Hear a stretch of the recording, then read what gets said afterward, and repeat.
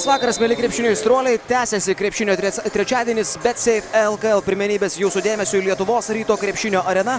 Ir čia aikštelės šeimininkai Lietuvos ryto krepšininkai netrukus ketvirtą kartą šį sezoną e, rungtyniaus su varžovais iš Šiaulių. Lietuvos rytas Šiauliai. E, tiesioginė transliacija iš Vilniaus. Ja komentuosiu Karolis Tiškevičius. Ir netrukus kova tarp antrą ir penktą vietas turnyro lentelėje užimančių komandų. Jeigu Lietuvos rytas turnyro lentelėje e, atrodo daugiau mažiau aiškioje pozicijoje, antroje vietoje ir vargu, ar Lietuvos rytas pakils aukščiau, kris žemiau dar reguliariojo sezono pabaigoje. Tai Šiauliai vis dar sprendžia savo uždavinius ir Šiauliams kiekvienas mačas reguliariojo sezono finiše yra labai svarbus ir reikalingas. Šiauliai kol kas dalinasi penktą poziciją kartu su Pasvalio pieno žvaigždžių komanda, 13 pergalių ir 18 pralaimėjimų. Ir tai reiškia, kad norint e, tvirtintis toje penktoje vietoje, kuri beje ketvirtinalyje reikštų saliginai paprastesnį ir lengvesnį varžovą, E, tai kiekvienas taškas ir kiekvienas šansas jį paimti yra labai svarbus. Šiaulių komanda šiandieną yra pilnos sudėties, e, o Lietuvos ryto sudėtyje trūkumų yra. Negali žaisti ne tik tai Jimmy Baronas, kuris iškrito iš komandos sudėties maždaug 3-4 savaitėm, bet šiandien negalės rungtyniauti ir Artūras Jomantas, kuris e, treniruotėje patyrė nedidelę traumą, kaip sakė Alberto Blanko, Rimo Kurtinaičio asistentas, nėra rimta Artūro Jomanto trauma ir į aikštelę šis krepšininkas sugrįž uh, greitai. Šiandien Lietuvos krepšinio lygoje vyksta trejos rungtynės Kėdainių, Nevežės ir Alitaus Dzukija. Dabar žaidžia antrą kelnį, ten rezultatas lygus. Panevežė Lietkabelis pradėjo rungtynės su Klaipėdos Neptūno komanda ir tų rungtynių rezultatus šios transliacijos metu mes galėsime sekti. Čia Vilniečių komandos vairininkas Rimas Kurtinaitis, kurio oponentas šiandien yra buvęs Lietuvos ryto komandos vyriausiasis treneris. Na, kieno tik tai treneris Antanas Sireika nėra buvęs. E, ir labai trumpai, 2008 metais e, nuo gegužės iki gruodžio mėnesio Sireika buvo Lietuvos ryto e, vyriausiųjų trenerių. Tada gruodžio mėnesį pasitraukė iš pareigų ir tapo būtent Šiaulių komandos vyriausiųjų trenerių ir po kelių metų pertraukos šią vasarą Antanas Sireika grįžo į Šiaulius. Čia matote svečių komandos starto penketą, kuriame Laurinas Birutis, Arminas Urbutis, Donatas Sabeckis, Nikas Zeislovtas ir Akimas Raitas. Ir Lietuvos ryto komandos starto penketas Krisas Kreimeris, Mindaugas Girdžiūnas, Arnas Butkevičius ir po krepšių Trevisas Petersonas ir Martinas Echodas. Nepaprastai įdomi šiandien laukia vidurio polėjų akistata. Du jauni, du talentingi Lietuvos krepšinio lygos žvėrys. Štai čia vienas iš jų - Laurinas Birutis, 2 m 13 cm ūgio. E, vidurio polėjas, e, krepšininkas, kuris demonstruoja tiesiog puikius rezultatus šio sezono LKL. 15 taškų, 7 atkovoti kamuoliai per rungtynes, e, vienas naudingiausių ir ryškiausių visos lygos žaidėjų. Martinas Echodas, pagrindinis Vilniaus Lietuvos ryto komandos vidurio polėjas. Tiesa, Martino Echodo skaičiai šiek tiek prastesni. Echodas per rungtynės pelno po 10 taškų, atkovoja po 6 kamolius. Pastarasis rezultatas geriausias komandoje. Aišku, Echodas savo e, kolektyve turi ir kur kas daugiau tų taškų galinčių rinkti žaidėjų, bet kuriuo atveju Echodas ir Birutis puikiai pažįsta vienas kitą, abu krepšininkai net porą sezonų rungtyniavo Žalgirio dublerių komandoje nacionalinėje krepšinio lygoje, abu yra Žalgirio sistemos auklėtiniai, abu žaidė ir 18-mečių, ir 20-mečių krepšinio rinktinėse, abu yra geri draugai. Ir kaip Martinas Echodas sakė prieš šias rungtynės, e, labai norėtų ateityje sužaisti su Laurino Biručiu ir NBA lygoje jeigu ten abiem teks rungtyniauti. Beje, Laurinas Birutis jau padavė ir paraišką e, dalyvauti NBA naujokų biržoje. E, na, o pats Echodas sakė, kad jam nesukėlė nuostabos toks puikus Laurino Biručio sezonas. Echodas pridūrė, kad jis žino uh, Laurino galimybės ir kad uh, šis jo draugas gali žaisti ir dar geriau.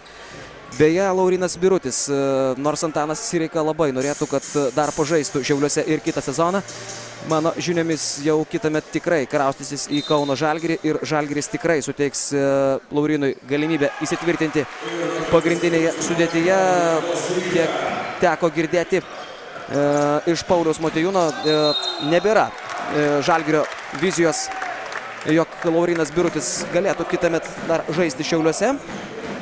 Ir labai gali būti, kad kitąmet Žalgirio komanda turės šiek tiek kitokią vidurio polėjų grandį. Brendonas Deivisas, Antanas Kavaliauskas ir Laurinas Birutis. Na, čia rungtynės prasidėjo Kriso Kreimerio išprovokuota pražanga ir dviem jo baudų metimais. Lietuvos ryto komandos trenerių štabas Rimas Kurtinaitis, Alberto Blanko, Kunsaitis ir Brazys. Atkovoja kamuolį Trevisas Petersonas ir trys taškai pirmosios Lietuvos ryto atakos metu. Donatas Sabeckis. Du prieš du su Laurinu Biručiu. Tradicinis šių jaunųjų talentų pick and rollas. Ir pirmoji Laurino Biručio ataka nugara ir iškrašo stogą. Martinas Echodas. Laurinui Biručiui štai tokia paraiška savo bičiuliui. Gynybinėje kovoje su 2 m 13 cm ūgio šiauliečiu. Ir Arnas Butkevičius turėjo neblogą progą pataikyti ir iš trijų taškų zonos. Beje, Martinas Echodas praėjusį sezoną ir pats žaidė Šiaulių komandoje ir žaidė labai galingai. Lietuvos rytas pasirašė sutartį su Echodu būtent po to puikaus sezono Šiauliuose. Arminas Urbutis pelno pirmosios Šiaulių taškus. Na ir sezoną Echodas Šiauliuose baigė pelnydamas 38 taškus ir surinkdamas 53 naudingumo balus Lietuvos krepšinio lygos rungtynėse. Na ir tai aišku taip pat turėjo reikšmės įtikinant Lietuvos ryto vadovus, jog šis žaidėjas vertas žaisti šiuo metu antroje pagal pajėgumą Lietuvos komandoje. Na ir jeigu viskas įvyks taip, kaip panašu, jog įvyks kitą sezoną. Lietuvos ryto ir Žalgirio. Jau Žalgirio vidurio polėjai e, Ekodas ir Birutis taip pat dažnokai kausis tarpusavyje. Trevisas Petersonas atiduoda kamuolį Nikui Zeisloftui. Šis Akimui Raitui ir Akimas Raitas kala kamuolį iš viršaus greitos atakos metu, kuri atrodo jau ir sulėtėjo. Tačiau Akimas Raitas sugebėjo išsaugoti koncentraciją ir koordinaciją. Ir grūda Vini į Lietuvos ryto krepšį išvesdamas į priekį šiauliečius. Na, nebejoju, jog Lietuvos rytas šiandien taip pat nesitikė lengvos kovos. Paskutinis Šiaulių vizitas čia Lietuvos ryto akis e, arenoje baigėsi labai sunkia, labai varginančia ir alinančia Lietuvos ryto pergalė po dviejų pratesimų. O dabar Šiauliai irgi geros formos. Mindaugas Girdžiūnas pataiko iš trijų taškų zonos daug Mindaugas Girdžiūnas ir rungtinių pristatymo metu kalbėjosi su Rimu Kurtinaičiu ir klausėsi trenerio nurodymų prieš mačo startą. Urbutis atlieka sunkų metimą. Trevisas Petersonas neapleido gynybinių pozicijų. Butkevičius tiesiai Sabetskių rankas. Petersonas užtveria kelią. Kimas Raitas vėl atakos maigalėje ir dar vienas bum. Ketvirtasis amerikiečių taškas tuo pačiu stiliumi. Krisas Kreimeris. Ir čia jau nespėja. Nespėja. Donatas Sabeckis prie Treviso Petersono susikeitė dengiamaisiais. Šiaulių aukšto ūgis su Sabeckiu. Laisvas Nikas Eislovtas. Žiauri prabanga Lietuvos ryto gynybai. Šį žaidėją beje prieš rungtynės irgi išskyrė Martinas Echodas ir Rimas Kurtinaitis. Dabar labai piktas dėl to, kaip buvo paliktas Šiaulių supersnaiperis. Mes žinome, jog Nikas Zeislaptas gali per rungtynės sumesti ir 12 tritaškių. Taip buvo šį sezoną rungtynėse su Utenos Juventus. Čia Trevisas Petersonas prieš Lauriną Birutį. Ir trijų sekundžių taisyklę pažeidžia užsilaukęs kamulio Martinas Echodas, o Rimas Kurtinaitis pyksta ant Treviso Petersono, kuris neadresavo kamulio Echodui. 3,5 minutės sužaista pirmajame šių rungtynių kėlinyje. Trečiosiuose šio vakaro Lietuvos krepšinio lygos rungtynėse Akimas Raitas pats pameta kamulį. Ir Krisas Kreimeris atiduoda jį laisvam Trevisui Petersonui, surizikavo šiauliečiai. Neišnaudoja progos. Lietuvos ryto legionierius Donatas Sabeckis atlieka sunkų metimą. Laurinas Birutis situacijos jau nebeišgelbėja.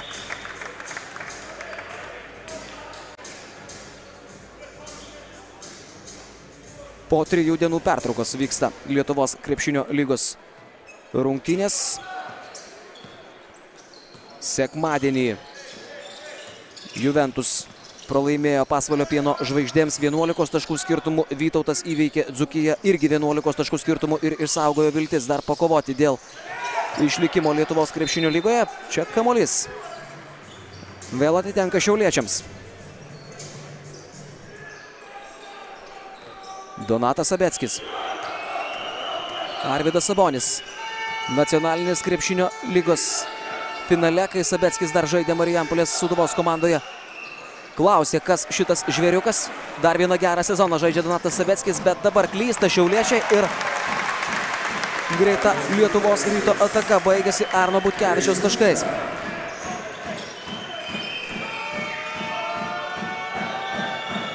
Sabeckis.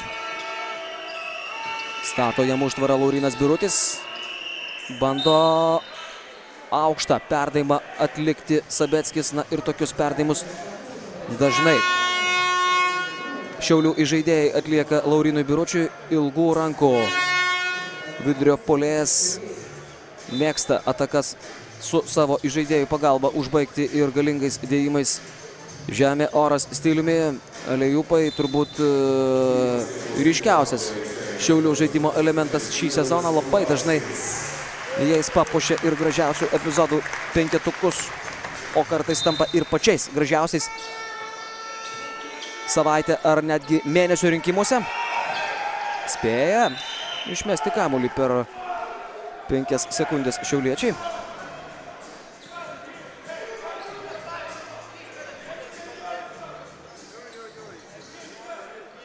Kristupas Žemaitis pasirodė Šiaulių penkete.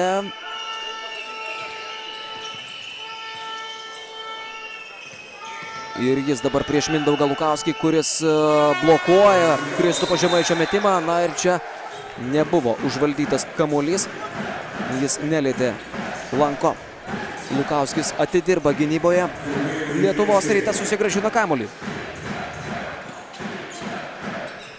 Taip pat ir Evaldas Šaulys Šiaulių penketuke. Dabar jis prieš Mindaugą Lukauskį. Echodo ir Girdžiūno 2 prieš 2. Gerai įmeta kamuolį Mindaugas Girdžiūnas Martinui Echodui. Kuris atsidaro ir savo taškų sąskaitą. Kol kas Martinas Echodas ryškesnis už Lauriną Birutį. Pastarajam Echodas išrašė ir stogą. Kelnių pradžioje Evaldas Šaulys pataiko iš trijų taškų zonos. Vienas tų žaidėjų, kurį reikia gerbti ties tritaškio liniją, dabar suklupo. Vilniečių gynyba. Lukauskis vėl Echodui. Echodas gerai iškiša kamuolį Butkevičiui. Ištampyta, visiškai ištampyta Šiaulių gynyba. Lukauskis iš toli pro šalį. Nors ten tikrai gražiai suvaikščiojo kamuolys Lietuvos ryto polime.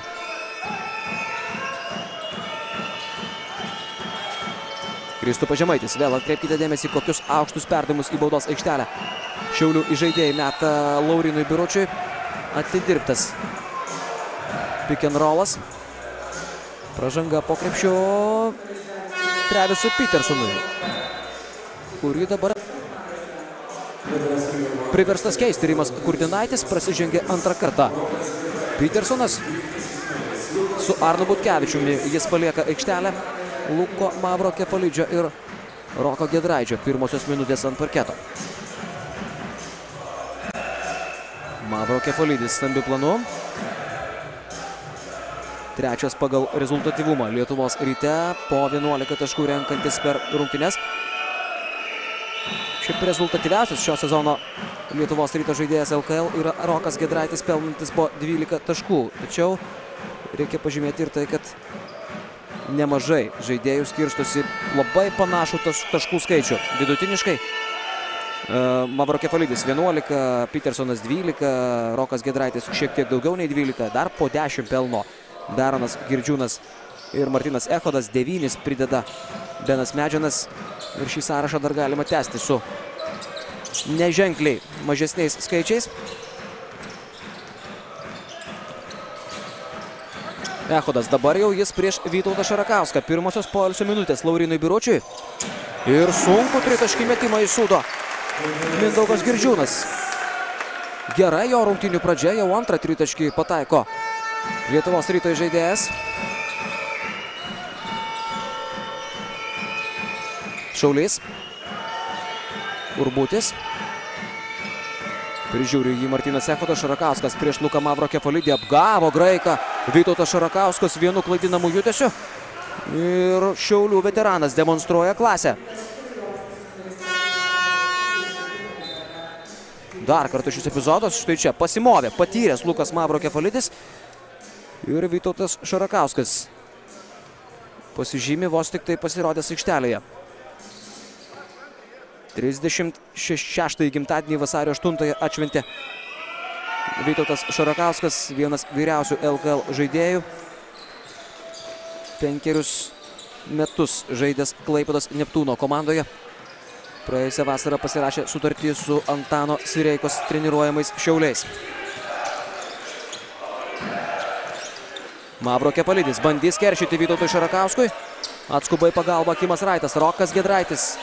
Meta iš toli, pražanga grumtynėse po krepšiu Šarūnui Beniušiui.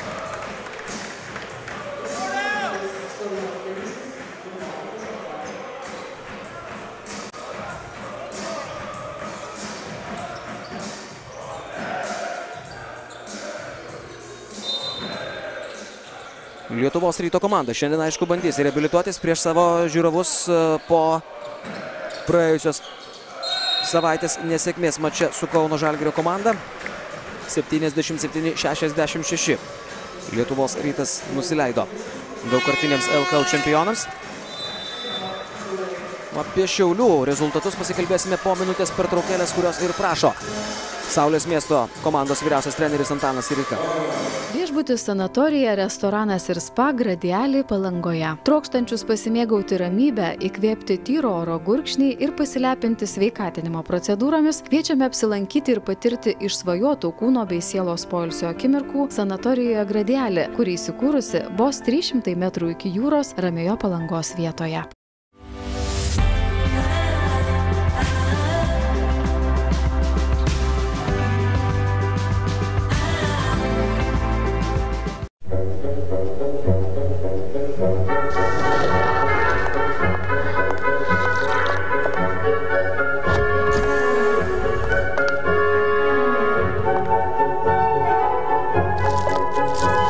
Rinkis Miles ir automobilis tau padėkos.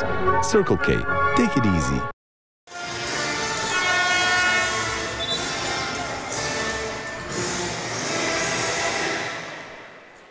Kol kas šiauliai duoda kovą ir aš net nebejoju, kad uh, tokia kova laikysis netrumpai dar šiuose rungtynėse. Tikrai drąsiai nebūtų galima sakyti, jog šiandieną Lietuvos rytas šias rungtynės uh, lengvai laimės, tuo labiau, kad uh, šiauliai yra tikrai neblogos sportinės formos, apie tą jau kalbėjau. Paskutinį mačą kovo 14 prieš keturias dienas šiauliai baigė pergalingai su Klaipėdos Neptūnu. 77-76, kiek anksčiau. E, tik tai stebuklingo Tomo Lekūno metimo iš vidurio aikštės dėka pasvalio pieno žvaigždės palaužė Šiaulius pasvalyje. E, bet dar anksčiau Šiauliai 90-73 sutriuškino nevėžį. Čia Rokas Gedraitis po Mindaugo Girdžiūno perdavimo pelno taškus. Įveikė Šiauliai Kauno Žalgirį mėnesio pradžioje 93-90 savo sirgalio akivaizdoje prakaitavo ir Lietuvos rytas Šiauliuose laimėjęs mačą 10 taškų skirtumų, bet kova tikrai buvo gera. Čia Šarakauskas nepataiko Beniušis. Niekas netitvėrė Šarūno Beniušio. Rimas Kurtinaitis piktas ant savo priekinės linijos. Ir Trevisas Petersonas keliamas nuo atsarginių suolo. Mavro Kefalidis. Nelengva jam kol kas prieš Šarakauską. Atskubai pagalba gynyboje Beniušis. Ir čia Beno Medžino darbovietė, trys taškai. Lietuvos rytas, kaip įprasta, drąsiai meta iš trijų taškų zonos pirmajame kelinyje. Jau spėjo atlikti septynis tolimus metimus. Šiauliai iš toli atakavo tik tris kartus, bet abi komandos pataikė po du tritaškius.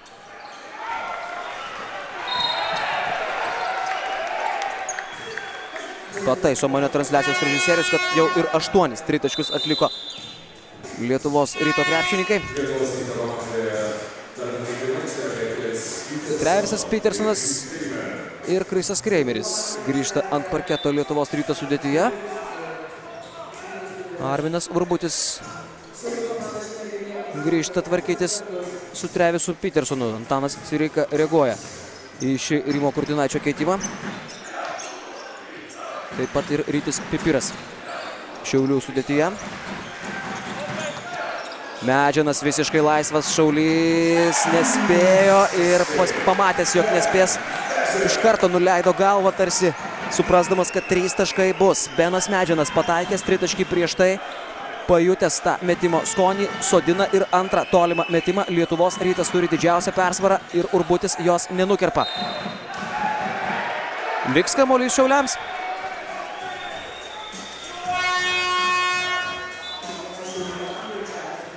Nikas Eisloftas keičia Evaldą Šaulį. Abu Šiaulių snaiperiai šiandien jau pasižymėjo tolimais taikliais metimais. Mina galinę liniją. Rytis Pipiras.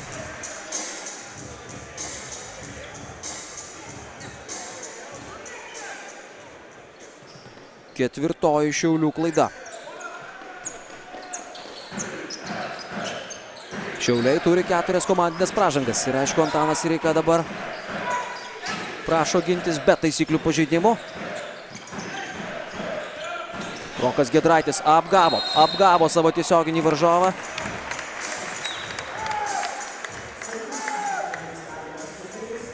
Arvinas Urbutis nesupranta už ką pražanga, keturis taškus pelnęs Dar vienas Šiaulių patyręs krepšininkas. Pirmą kartą prasižengė Orokas Gedraitis. Pelno savo trečiąjį tašką.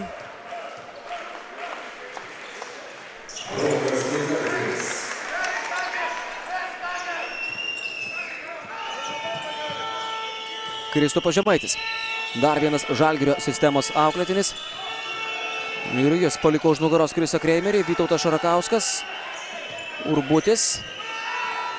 Uždarytas čia, atlieka sunku metimą ir kokį metimą pataiko Arminas Urbutis. Šeštasis jo taškas atrodytų iš neįmanomos situacijos išgelbėjo Šiaulių ataką Urbutis. Dvi sekundės lieka, meta per varžovo aukštai iškeltą ranką. Krisas Kreimeris metimas skrieja pro šalį ir Lietuvos rytas po pirmojo ketvirčio turi keturių taškų pranašumą.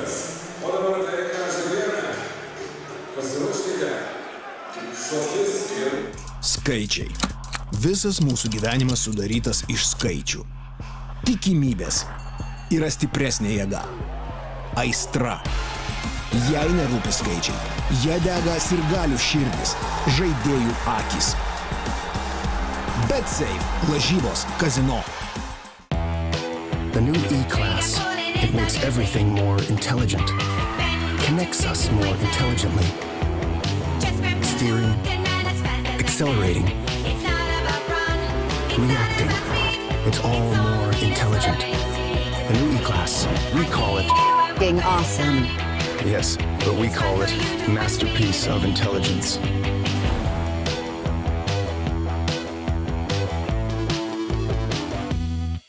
Vaikučiai ir jų mamytės. Tai finansų bitė. Jei planuojate didesnį pirkinuką, vestuves ar prispaudę greitieji kreditai, pasidomėkite pigiomis finbi.lt paskolomis. E, paskolomis.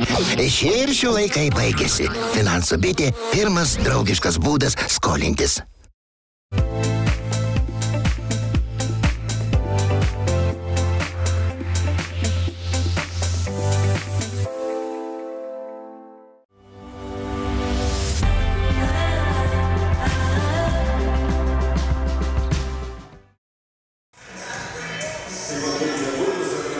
Į Vilnių. Po pirmųjų dešimties minučių aikštelės šeimininkai priekyje keturiais taškais, kol kas du rezultatyviausiai Lietuvos ryto žaidėjai. Po šešis taškus pelnė Mindaugas Girdžiūnas ir Benas Medžianas. Abu tuos šešis surinko dviem tritaškiais, beje, po du metė, po du patakė. Lietuvos rytas sumetė keturis tritaškius iš dešimties pirmajame ketvirtėje. Šiaulių rezultatyviausias šešis taškus pelnęs Arminas Urbutis. Sabeckis atsidaro taškų sąskaitą. Įdomu tai, kad e, Laurinas Birutis per pirmasias šešias minutės nepelnė nie taško, vėliau jį pakeitė Vytautas Šarakauskas, pakeitė sėkmingai. Pelnės iš karto 3 taškus, 2 plus 1, o čia Egidijus Mockevičius. Su Krisu Kreimeriu organizuoja gražiausią mačo išpolį kol kas. Dėjimas iš viršaus. Ir Jonas Radzevičius, Lietuvos ryto rungtynių pranešėjas. Ragina žiūrovus dar arčiau palaikyti savo komandą. Pipiras gražos perdavimas Arminui Urbučiui, šis irgi ne ką prastesnį pasą iškiša Šarakauskui. Šarakauskas užsivedęs. Matėme pirmajame ketvirtyje, kaip jis išmaudė Luką Mavro kefalydį. Dabar atkovoja kamolį po savo paties metimo ir stos prie baudų metimų linijos. Martinas Echodas keičia Egidijų Mockevičių, kuris dabar gauna velnių nuo Rimo Kurtinaičio dėl to, kaip sukovojo su Šarakausku paskutinės atakos metu. Antanas Sireika, kaip ir įprasta šiam krepšinio profesoriui, filosofiškai žvelgia į įvykius ant parketo. Nors šiaip šį sezoną teko matyti Antanas Sireika kartais net ir labai aršų ir itin emocingai įsijungianti į vadovavimą savo komandos žaidimui. Gražiai, gražiai juda Lietuvos ryto atakos metu Krisas Kreimeris suradęs Roką Gedraitį. Sutelkė dėmesį į save Kreimeris, o Rokas Gedraitis liko nepastebėtas. Pražanga puolime Vytautui Šarakauskui.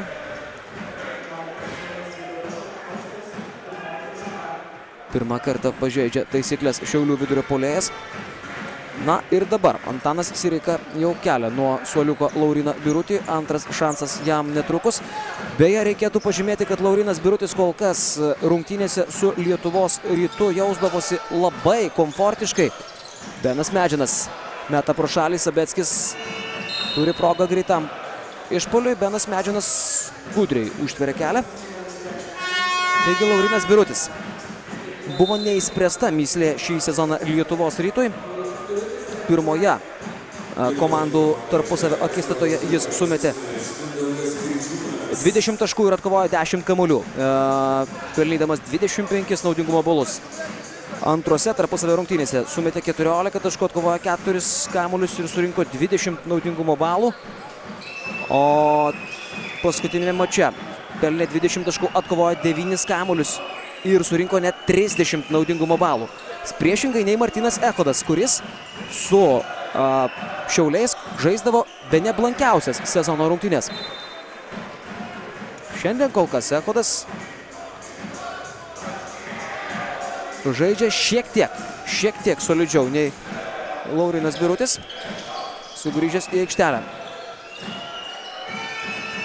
Urbutis, neišsprendžiama mislė kol kas jis. Ir iš tų kraštų, kaip koks Darius Songaila, Arminas Urbutis jaučiasi užtikrintas net ir per rankas. Meta sėkmingai ir tikrai Martinas Echodas trukdė tą metimui. Jedraitis per Akimą Raitą, netaikliai, Nikazė įsloptas į makamulį. Sireika sako ramiai, niekur nereiks skubėti. Sabeckis lyselė. Birutis prašo kamulio aukštas perdavimas ir dabar jau persistengė su tuo aukštu perdavimu Arminas Urbutis.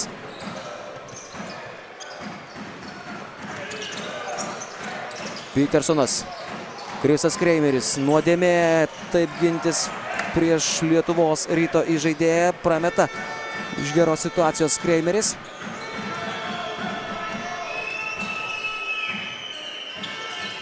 Urbutis turi laisvės iš toli. Trys taškai krepšyje. Arminas Urbutis.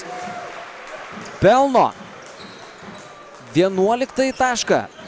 Ir štai toks Šiaulių X faktorius šiandien. Jeigu koncentracija į Zeisloftą, Akimaraitą, Sabetskį ir aišku Lauriną Birutį, Arminas Urbutis tarsi sako, aš irgi čia esu.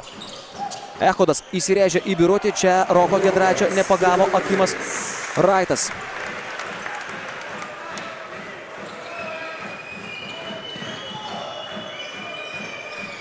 Arminas Urbutis šį sezoną pelno po 11 taškų ir atkovoja po 6 kamuolius vidutiniškai. 11 taškų jis jau surinko per nepilną pirmąją rungtinių dalį. Akimas Raitas pataiko žiauriai sunku metimą.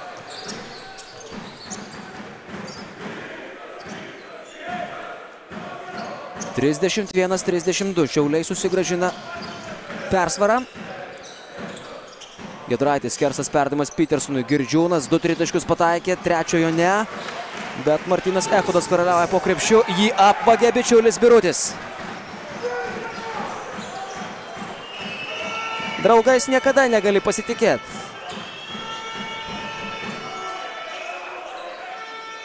Birutis prieš Echodą.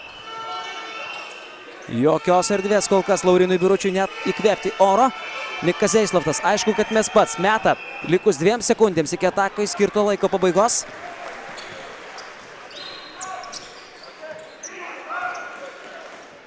Šiauliai iš septynių tritaškių pataikė tris.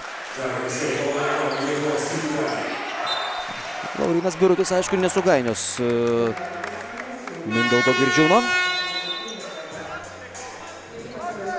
Būsimasis Kauno Žalgirio vidurio polėjas vis dar be taškų. Tik tai kartą leido jam atakuoti krepšį. Lietuvos ryto gynyba. Atkovojo vieną kamuolį, atliko, rezultatyvų perdavimą, išpraukavo pražangą. Bet tai kol kas viskas rezultatyviausio Šiaulių žaidėjo sąskaitoje. Ir jis didysis kol kas svečių rezervas. Rokas Gedraitis smeigia tritaškį per Arminą Urbutį.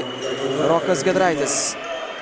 Šiaulių komandos trenerio Roberto Gedraičio sūnus. Nepavyksta Kimui Raitui pelnyti taškų. Greitas Lietuvos ryto išpolis. Krisas Kreimeris pusę akies matė laisvą Roką Gedraitį. Bet nusprendė kitaip organizuoti šią ataką. Čia trečioji komandinė pražanga Šiauliams. Šarakauskui antroji asmeninė. O ir Gedrius Stankevičius įjungiamas į Antano Sireikos rotaciją šio vakaro rungtynėse. Šį sezoną Gedrius Stankevičius aikštelėje praleidžia tik tai po 9 minutės. Pelno po 3 taškus.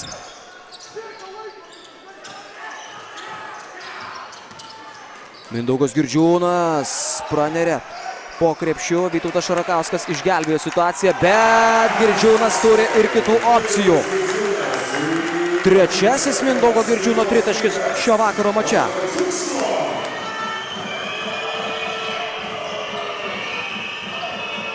Ir jis antras pagal rezultatyvumą. Lietuvos ryto žaidėjas nusileidžiantis tik tai Rokui Gidraičiui. Pražanga. Arnui Butkevičiui, kuri kainuoja, kainuoja sveikatos Vytautui Šarakauskui. Ir Vytautas Šarakauskas būtų didžiulė netektis Šiauliams, nors ir atrodo, jog gali pats paeiti, palieka aikštelę ir sėda ant suolelio. Bet jis Šiaulių rotacijoje suteikia polisio Laurinui Biručiui, o kaip šiandien jau įsitikinome ir gali būti netgi naudingesnis protarpis už Lauriną Birutį.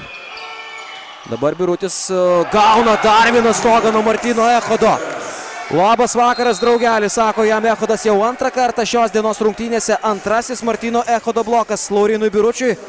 Ir šių dviejų senų pažįstamų susitikimas toliau yra labai įdomus. Laurinas niekaip nepralaužia Marčiaus gynybos, o Martinas Echodas į kiekvieną tokį epizodą reaguoja kaip koks liūtas karalius. Ir pats Martinas Echodas nekartą yra kalbėjęs apie savo emocijas po sėkmingų epizodų. Mėgsta jis užvedinėti tribūnas ir mėgsta jis šaukti po žygių tiek polime, tiek gynyboje. Tai užvedas ir galius. Ir kokį stogą mes matėm. Net negalėjo atsiklijuoti kamuolys nuo Laurino Biručio rankos, kai jį prispaudė Martynas Echodas. Echodas apskritai žvėris, jo blokų irgi prisižiūrėjome daug šį sezoną. Galime prisiminti ir mače su Kauno Žalgiriu. Du blokus iš eilės įkirstus Brandonui Deivisui. Atletiškas vidurio polėjas Arnas Butkevičius gauna stogą nuo Laurino Biručio. Martynas Echodas tvarkosi po krepšiu.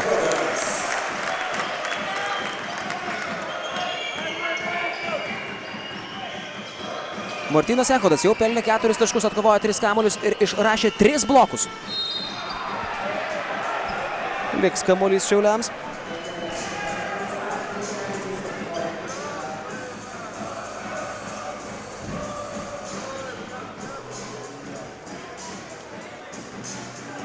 Ir Akimas Raitas.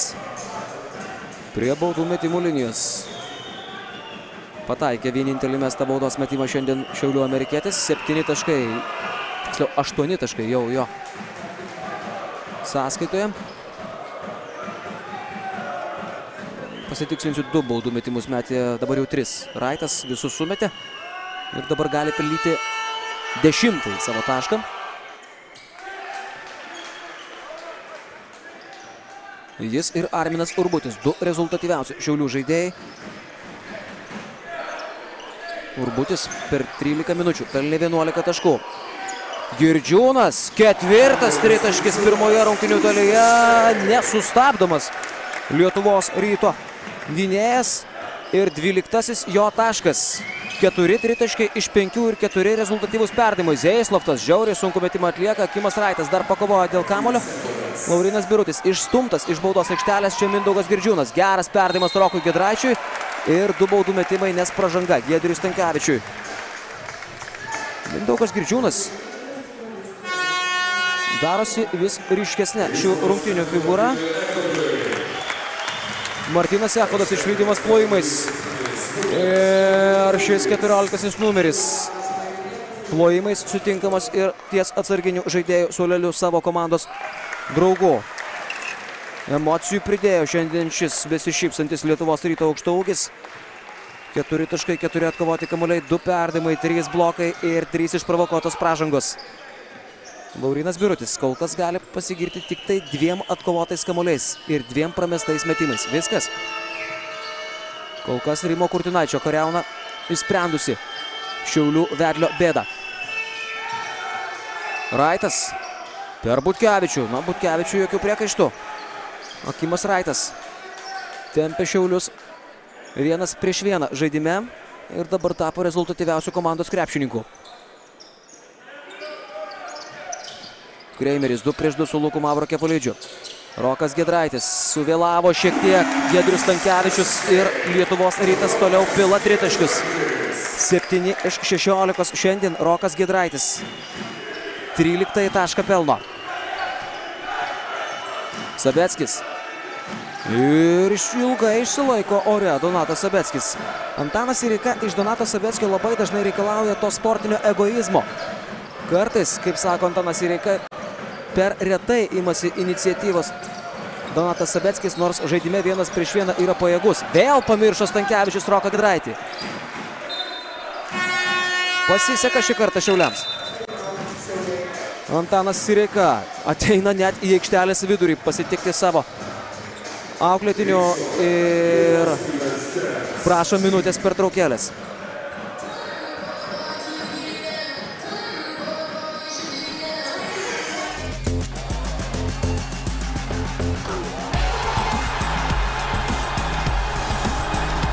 BetSafe. Lažybos. Kazino. Išalkote pergalių. Restoranuose Charlie Pizza pasitikite jas ragaudami naujas pizzas su nuolaidomis net iki 66 procentų. Charlie Pizza - taikliausias pasirinkimas.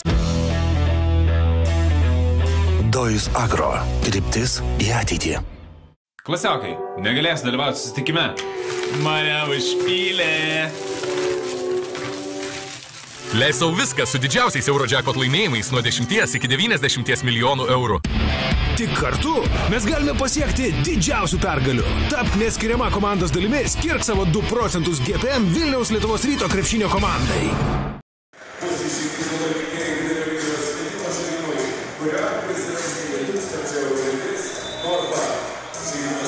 Čia vienas gražiausių išpolių šios dienos mače. Krisas Kreimeris prisidėjo prie ne vienos sėkmingos Lietuvos ryto atakos ir jau atliko keturis rezultatyvius perdavimus, bet kol kas ryškiausias šių rungtinių Lietuvos ryto žaidėjas sakyčiau, yra net nerokas Gedraitis pelnęs 14 taškų, o Mindaugas Girdžiūnas surinkęs 12 taškų, sumetęs 4 tritaškius iš 5 ir atlikęs net 6 rezultatyvius perdavimus, dar ir perėmęs kamolį ir Girdžiūno naudingumo balų skaičius jau yra 20.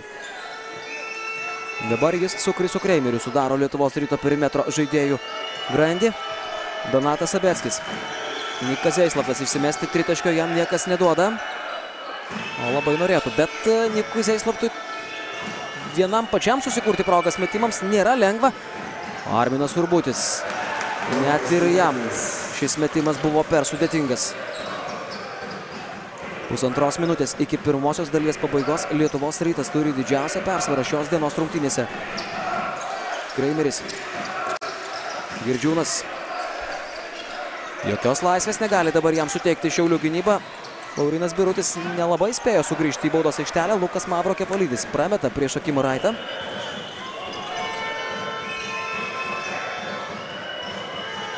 Birutis siekia pirmųjų taškų ir jie yra. Laurinas Birutis turi gerą metimą iš vidutinio nuotolio ir galiausiai atsidaro. Rimas Kurtinaitis iš karto gražina į aikštelę Biručio. Braul žudį šiandien. Martinas Echodas jau kyla.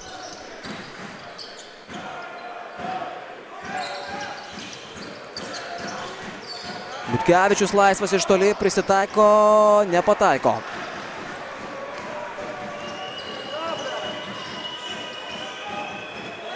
Šiauliams reikės kažkaip šiandieną antroje dalyje įjungti į žaidimą Lauriną Birutį. Na, nebent taip ir toliau žais Arminas Urbutis. Jo taškai mažina skirtumą iki vieno taško. Martinas Echodas grįžta ant atsarginių suolo. Nėra progos jo išleisti į aikštelę. Lietuvos ryto paskutinis išpolis, bet net ir jam nesibaigus. Jau dabar galim konstatuoti, kad pirmoji rungtynių dalis jokių klausimų neatsakė. Šiauliai dar duos kovos Lietuvos rytų šiandien. Ir dėl šitos pergalės dar turės pasidraskyti. Abi komandos galbūt netgi iki mačo pabaigos. O Rokas Gedraitis. Paskutinė Lietuvos ryto ataka sprendžia vienas prieš vieną. Echodas vis dėlto grįžta dar ant parketo pakovoti dėl atšokusio kamulio.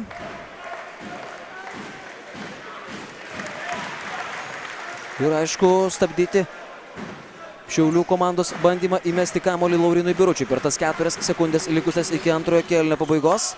Nepataiko antrojo baudos metimo. Blogą perdimą atliko Urbutis ir Krisas Kreimeris. Krisas Kreimeris. Šitą Lietuvos ryto šansą išnaudoja. Arminas Urbutis gali dabar keikti pat save, o ir keikia. Jau geriau tiesiog nieko nedaryti, o tik padėti kamuolį ant parketo. Na, šita klaida Lietuvos rytui atstato keturių taškų pranašumą. 48-44. Ilgoji pertrauka šiek tiek palsėkite, bet niekur toliai nedinkite. Skaičiai. Visas mūsų gyvenimas sudarytas iš skaičių. Tikimybės yra stipresnė jėga. Aistra. Jei nerūpi skaičiai, jie dega sirgalių širdis, žaidėjų akis. BetSafe, lažybos, kazino. The new E-Class. It makes everything more intelligent. Connects us more intelligently. Steering, accelerating, reacting. It's all more intelligent. The new E-Class. We call it Being awesome. Yes, but we call it Masterpiece of Intelligence.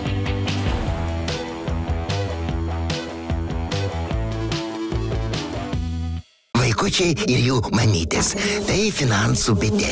Jei planuojate didesnį pirkinuką, vestuves ar prispaudė greitieji kreditai, pasidomėkite pigiomis finbi.lt paskolomis. E, paskolomis. Šie ir šių laikai baigėsi. Finansų bitė - pirmas draugiškas būdas skolintis.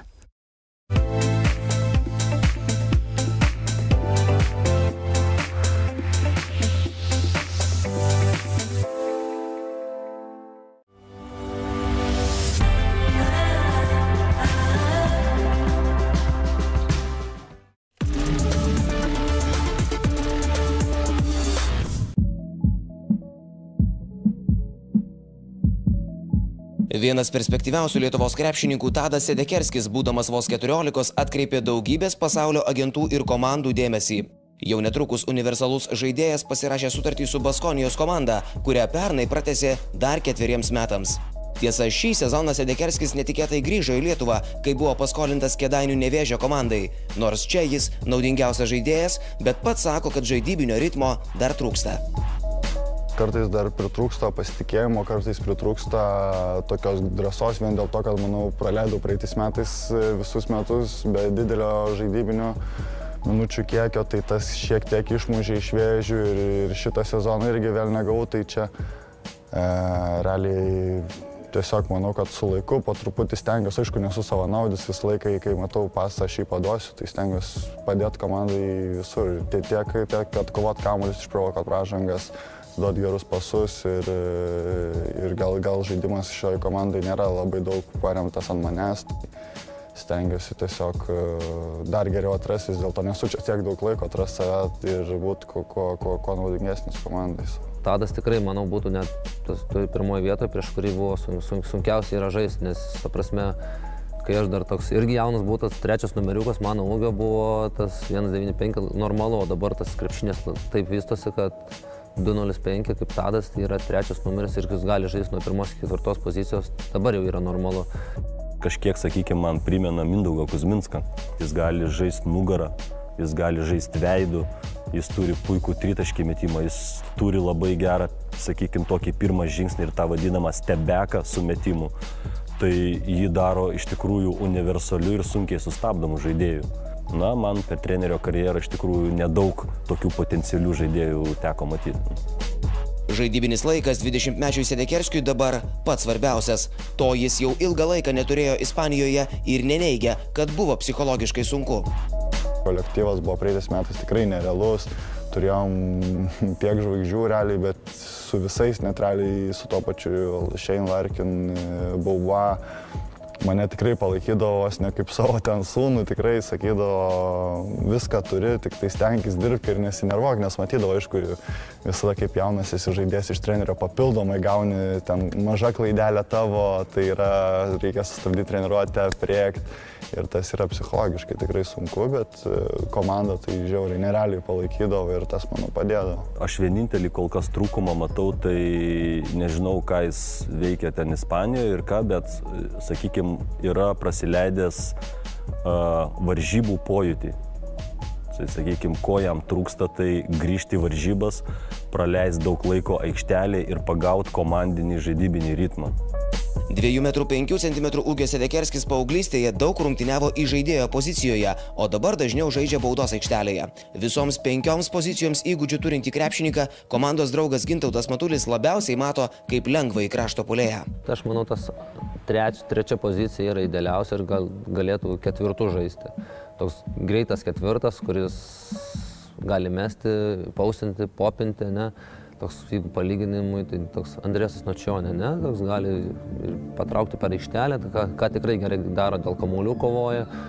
Toks, sakau, turi viską, va tik tik reikia nesustoti dirbti. Kai išvažiavau į Ispaniją, tikrai buvau, kaip galima sakyti, toks visiškas asiska, bet e, nežinau, nesu tinginys, patinka dirbti savo kūnu ir tis, tikrai ten trenerių padedamas e, daug, daug, daug, daug, daug patobulėjau. Ta prasme, patinka nueiti ir po treniruotės ar prieš treniruotę ištanginį ir ir tobulinti. Ir manau, kad dar, dar, dar daug e, dar daug vietos tobulėjimų yra. O prieš veidrodį darai selfiukus keli į, į Instagramą? Ne, ne, ne nesu iš to, bet gal reikėtų pradėti. Daug rašinėja panų Instagram'e? Ne, realiai tai iš tikrųjų dauguma žmonių mano, kad, kad praktiškai esi čia krepšininkas ir e, žaidži, sakykime, gan aukštam lygiui ir kad tipo tos mergaitės labai susidomės stipriai tavim, bet e, Bet iš tikrųjų nėra tokio labai labai didelio ten laikų, gal kažkiek surinkė, bet taip pat, kad jau tau rašytų, ten siūlytų kažkas, tik tai mm, o, o viską, viską pats turi. 2,5 cm ūgio puolėjas gimė Nidoje, nors augo ir krepšinio paslapčių mokėsi pajūryje, bet pats sako, kad labiausiai tuo metu palaikė Kauno Žalgirio komandą. Kaip ir visi maži vaikai, nežinau, e, sirgdavau žalgyrį tiesiog gal Neptūnas tada ir nebuvo tokio lygio, tokio lygio komanda, bet e, vis dėlto buvau Žalgerio fanas ir e, žiūrėdavau Eurolygos visas rungtynės. Nesu aš nei, nei prieš rytą, bet e, nežinau, kažkodėl nuo mažens labiau Žalgeris traukia prie širdies. Žurnalistų, agentų, klubo vadovų ir visuomenės dėmesys Tadas Edekerskį lepino jau nuo ankstyvos paauglystės. Dabar jis neslepia, kad kaip tik tuo metu spėjo persirgti ir žvaigždžių lyga. Tada aš gal to nejaučiau, ta prasme, draugai irgi to nepasakė, gal su draugais, manau, tikrai nebuvau toks, bet, bet visų pirma, tėvai tikrai sakydavo, raminkis vaikelį, nes, o dabar, kai pagalvoju, realiai tikrai tuo metu buvau toks, nu, manau, kad normalu, dabar stengiuosi dar nieko nesu pasiekęs, labai, labai daug ką reikia įrodyti ir vis, visi visada myli žmonės, kurie, kurie paprastesni ir tai čia nė, nėra ko keltis, o tuo metu, kaip sakai, aišku, čia naudingiausias MKL žaidėjas daug kartų, ten visi rašo, čia e, NBA visokie ir realiai tau susisuka galva. Treneris Paulius Juodis pažymi, kad Tadui dabar svarbiausia gauti žaidybinio laiko ir derintis prie komandinių veiksmų. Mes tikrai negesinam jo individualaus mestriškumo, tą, ką jis gali padaryti. Bet vėlgi grįšiu prie to, turi tas įvykti laiku ir vietoj. Ta iniciatyva jo. O kas buvo, sakykime, pirmose rungtynėse ar treniruotėse, tas būdavo visiškai nelaiku ir visiškai ne vietoje. Jis imdavosi iniciatyvos, sakykime, nutraukdavo derinį, o galutinis rezultatas klaida polime ir du taškai mūsų krepšyje. Tai va Tadas iš tikrųjų išgirdo, ką mes treneriai norim iš jo ir, ir tą sprendžia, sakykime, ne tik treniruočių metu, bet ir rungtynių metu. Baskonijos klubo vadovai atidžiai stebėsi Dekerskio žaidimą Lietuvoje, o pats Tadas turi dar ketverius metus su Ispanų klubu galiosiantį kontraktą. Todėl apie situaciją Kedainiuose Sedekerskis Baskonijos klubo vadovus informavo kaip galima jiems suprantamiau. En Kedani me siento súper bien, tenemos un equipo muy joven y un equipo muy competitivo, trabajamos muy bien en los entrenamientos y espero que vamos a acabar la temporada muy bien, vamos a entrar en los playoffs y vamos a acabar la temporada felices.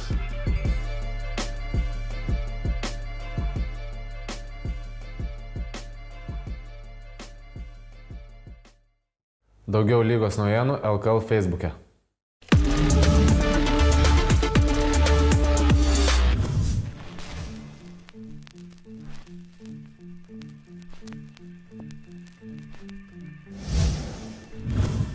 Sekmadienio vakarą į sekmadienio LKL rungtynes, kurias jums pristato Čarly Pica. Kviečiame čia į Uteną. Savo energiją prasideda ir aikštės šeimininkai laimi pirmąjį ginčio kamolį. Pirmoji jų ataka. Geras labai perdavimas po verpstės ir Mindaugas Kukšas krauna kamolį. Ir daugiau pataiko iš tolimo nuotolio, tai yra tritaškių ir geriau kovoja po varžovų lenta. Aš čia dar vienas nesėkmingas bandymas. Juventus krepšininkai bandė gintis aikštę šioje atakoje. Čia Sošis baigė Bobrovo netaikų metimą. 29 procentų taikumų, Juveta daro beveik 34. O šiame mače tą daro dar geriau. Komanda šitos atakos metu, užtat labai greitai, labai greitai atsako į tai varžovai. 17. 9, atsiprašau, ne 12. O čia Liopas, kurį vėlgi be kažkokių ypatingų puolime. Ir dar kartą. Labai lengvai, labai lengvai ir labai taikliai dar kartą. Šina leidžia vieną po kito metimus ausiais ir tie tritaškai tolina pasaulio kieno žvaigždžių komandą. Buterlevičius.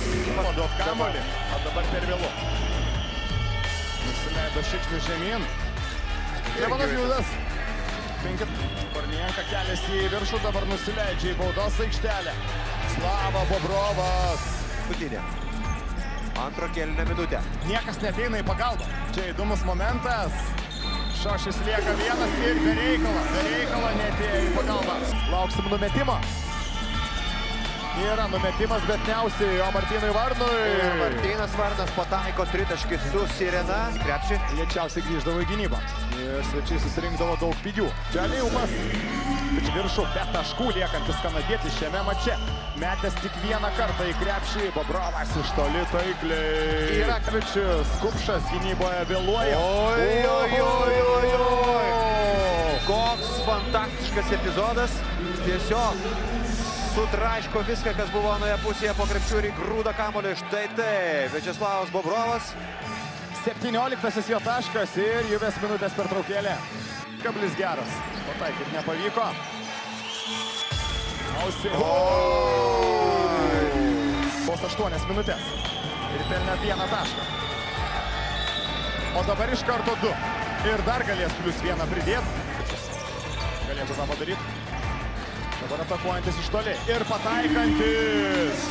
Blokuoja jo metimą Kupšas. Stringanti pieno žvaigždžių ataka. Baigėsi Olisevičiaus tritaškių. Ima kamolį Kornienka. Juvė greitajame puolime. Kaip gerai gynyboje sužaidė Maniga. Ir čia gina Pitai. Pasiseka. Sugauna jam siūstą kamolį Mindaugas Kupšas. Du taškai. Čia bandymas paspausti varžovus, kiek dar liko jėgų. Baigėsi kiekybinę mažumą baudos aikštelėje. 93-82. Toks šio mačo rezultatas. Skaičiai. Visas mūsų gyvenimas sudarytas iš skaičių. Tikimybės yra stipresnė jėga. Aistra. Jei nerūpi skaičiai, jie dega sirgalių širdis, žaidėjų akis. BetSafe, lažybos, kazino. Ilgas buvo abiejų komandų pasitarimas Rūbinėje prieš trečiąjį kelnį. Komandos apšilinėti pasirodė likus keturioms minutėms iki trečiojo kelnio pradžios. Tada įžengė Šiauliai, o Lietuvos ryto pasitarimas buvo dar ilgesnis ir vos prieš minutę. Vilniečiai pasirodė ant parketo, lieka dvi minutės iki trečiojo kelnio pradžios 48-44 jūsų ekranuose pagrindiniai šių rungtynių skaičiai. Lietuvos rytas realizavo jau septynis tritaškius metimus pirmoje rungtynių dalyje, kol kas Vilniečiai brangina kamuolį, suklydo keturis kartus, Šiauliai klysta dažniau. Atkovotų kamuolių statistika panaši, Lietuvos rytas išrašė keturis stogus šiauliečiams ir iš tų keturių blokų tris atliko Martinas Echodas. Čia rezultatyviausias Šiaulių komandos žaidėjas pirmoje rungtynių dalyje. 13 taškų, 3 atkovoti kamuoliai, 2 rezultatyvūs perdavimai. Taip pat dar galima pridėti dvi išprovokuotas pražangas ir Arminas Urbutis. Sumetė net ir tokius metimus pirmoje dalyje Martinas Echodas. Ne visada sugebėjo sustabdyti šį žaidėją, kuris ir tritaškį jau spėjo pataikyti. Tiesa, Šiauliams tritaškių kol kas trūksta. Trys tolimi metimai iš aštuonių. Beje, antrajame kelinyje tritaškių beveik iš viso nematėme, o čia Rokas Gedraitis, rezultatyviausias Lietuvos ryto žaidėjas, 15 taškų.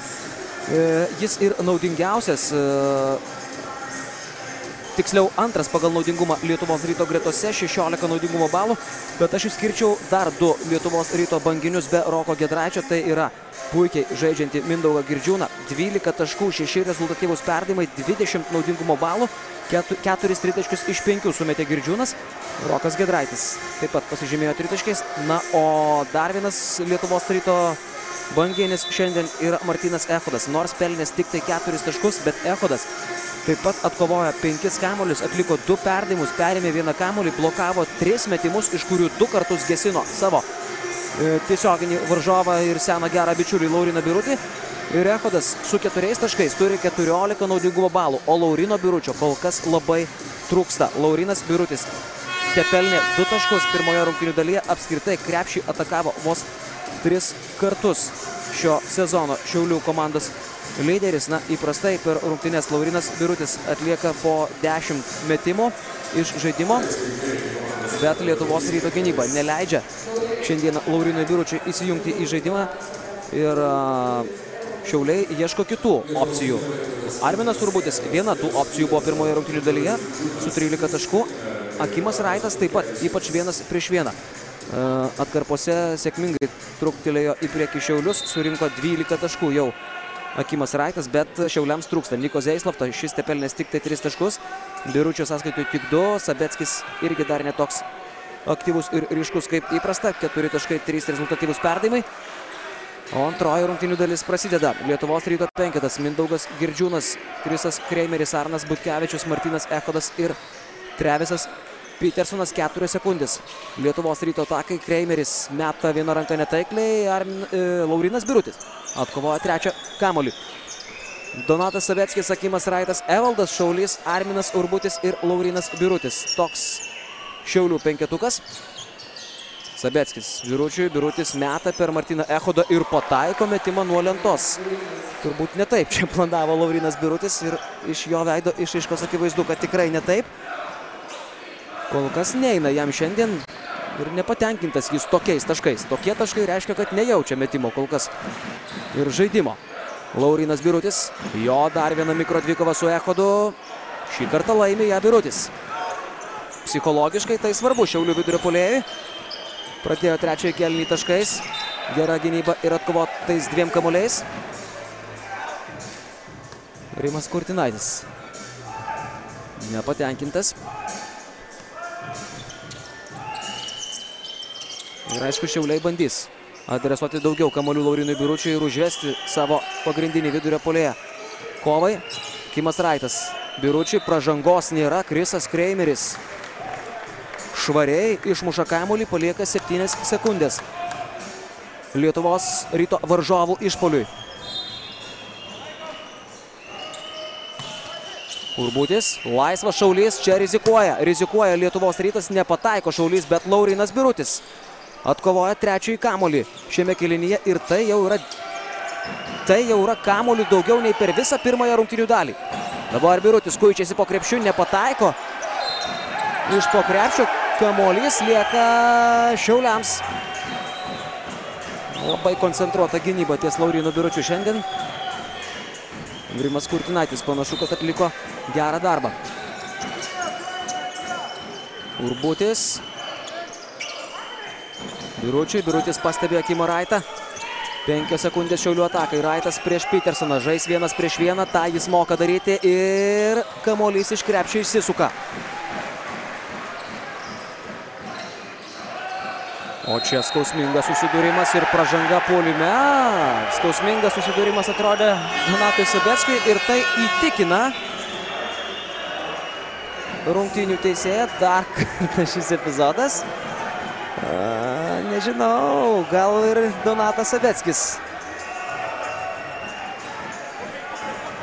pasistengė, jog epizodas atrodytų dramatiškesnis, bet kuriuo atveju to pakako kad e, Gintaras Vitkauskas, vyriausias rungtinių teisėjas, fiksuotų pražangą puolime. Šarakauskas, trys taškai. Ir čia ir Sabeckis gali prisimti nuopelnų už tai, kad Šiauliai yra priekyje būtent po Sabeckio. Išprovokuotos pražangos puolime Šiauliai išsiveržė į priekį. Ir Šarakauskas, ir Urbutis, du Šiaulių priekinės linijos žaidėjai. Šiandien jau pademonstravo savo universalumą. Beje, įdomu tai, kad sužaidus vos dvi minutės trečiajame kelinyje Antanas Sireika pasodino ant suolo Lauriną Birutį.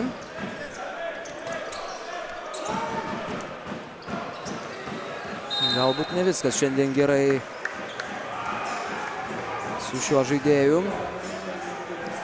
Primenu, kad Šiauliai žaidžia pilnos sudėties, o Lietuvos rytas verčiasi be Jimmy Berono ir taip pat ir Artūro Jomanto. Jimmy Beronas iškrito maždaug trims savaitėms, o Artūras Jomantas, kaip sakė treneriai, jeigu būtų labai svarbios rungtynės šiandieną, jeigu būtų labai didelė būtinybė, taip turėčiau pasakyti šiandieną, žaistų, bet suteikė polisio šiek tiek susižeidusiam Artūrui Jomantui. Dėl rungtynių svarbos čia jau kitas klausimas. Be abejo, kad rungtynės svarbios Lietuvos rytui. Beje, Panevežė Lietkabelis šiuo metu trečiajame kelinyje priekyje prieš Klaipėdos Neptūną 43-34 ir Jeigu Panevežė Lietkabelis rungtynės laimės, o Lietuvos rytas iškovos pergalę čia, tai tarp šių komandų, tarp Neptūno ir Lietuvos ryto jau bus keturių pergalių skirtumas. Ir šio skirtumo sudeginti Neptūnas praktiškai nebegalės. Tai reiškia, kad Lietuvos rytas tvirtai atsidurs antroje vietoje. Gražus perdavimas ir Evaldas Šaulys dalinasi taškais su Vytautu Šarakausku. Bet kuriuo atveju vargu ar pasikeis tas didysis LKL ketvirtas Mindaugas Girdžiūnas. Aktyvus toliau.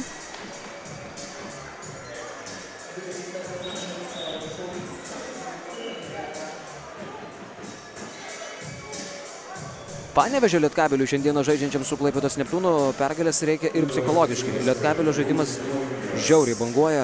Paskutinėsias rungtynės panevežėčiai pralaimėjo Kedainių nevėžiui, 12 taškų skirtumų išvykoje.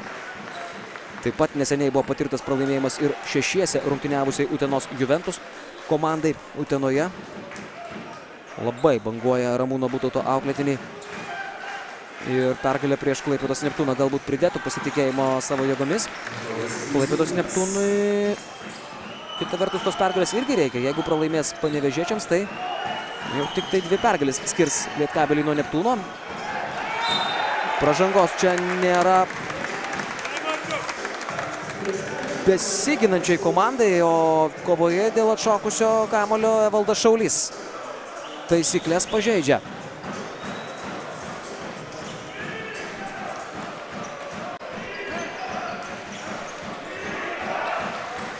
Įdomus toks epizodas. Girdžiūnas meta dar kartą iš toli. Keturis tritaškius pataikiusi žaidėją.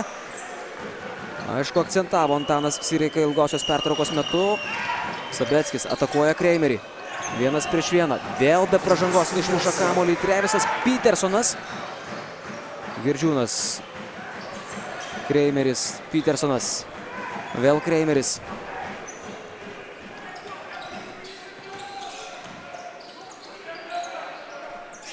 Penkios sekundės Lietuvos ryto atakai. Mindaugas Girdžiūnas labai aukštą trajektoriją išmeta kamuolį. Du tritaškius iš eilės prameta. Lietuvos ryto įžaidėjas.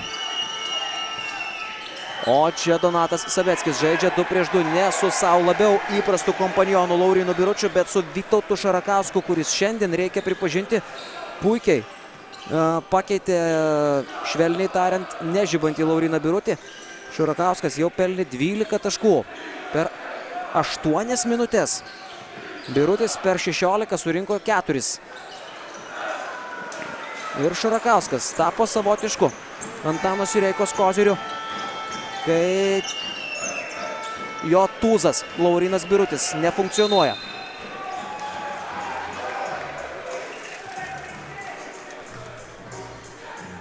Čia minutės pertraukėlės prašys Rimas Kurtinaitis. Šiauliai priekį. Sužaidus pusę trečiojo kelnio. Rule number two, you gotta stick with it.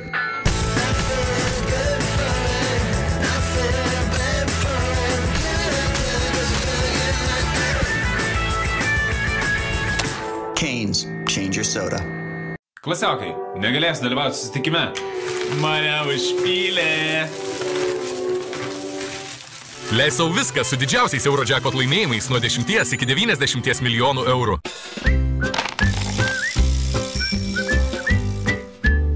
Kasdieniai mūsų įpročiai keičiasi. Draudimas taip pat. Kompensa - asmens draudimas su pagalba. Vichy Classic - tyras, išgrynintas sidabru.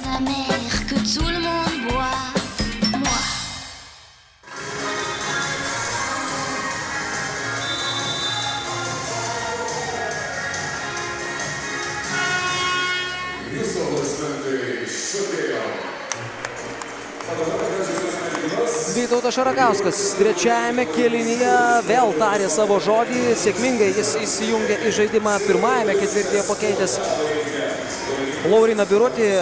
Pakeitė jį ir trečiajame ir tas įsijungimas į žaidimą vėl yra labai produktyvus ir naudingas Saulės miesto komandai. 12 taškų, 2 atkovoti kamuoliai, 3 išprovokuotos pražangos. Vytautas Šarakauskas jau pavijo pagal rezultatyvumą Akimą Raitą. Nusileidžia šie du žaidėjai tik tai Arminui Urbučiui su 13 taškų. Antano Sireikos sudėtyje ir vėl yra Laurinas Birutis. Dar vienas šansas jam. Jo kova su Martinu Echodu tęsiasi. Ta kova Echodas kol kas laimi ir akivaizdžiai. Sabeckis, Šaulys, turėjo laiko prisitaikyti ir kalą tritaškį. Šis labai taiklę ranką turintis žaidėjas didina Šiaulių persvarą iki rekordinės atžymos. Penki taškai. Medžianas. Echodas. Girdžiūnas. Ir pikenrolė. Tokiame pikenrolė Mindaugas Girdžiūnas jaučiasi labai komfortiškai. Puikų metimą iš vidutinio nuotolio turi Mindaugas Girdžiūnas. Ir tokius metimus, sakyčiau, 8 iš 10 tikrai sumestų. Neleidžia, neleidžia Laurinui Biručiui net priimti kamulio Lietuvos ryto. Gynyba Arnas Butkevičius ir Benas Medžinas. Pluša su Šiaulių bokštu, štai kaip taranuojamas šiandieną yra Laurinas Birutis, beje Arnai Butkevičiui.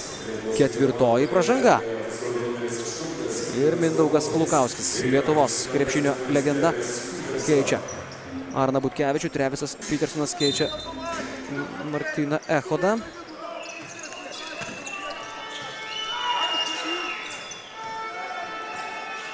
Lietuvos rytas turi keturias komandinės pražangas. Akimas Raitas žaidžia įžulėjai, agresyviai, užtikrintai ir 14 tašką pelnės. Amerikietis tampa rezultatyviausiu šių rungtinių šiaulių žaidėjų.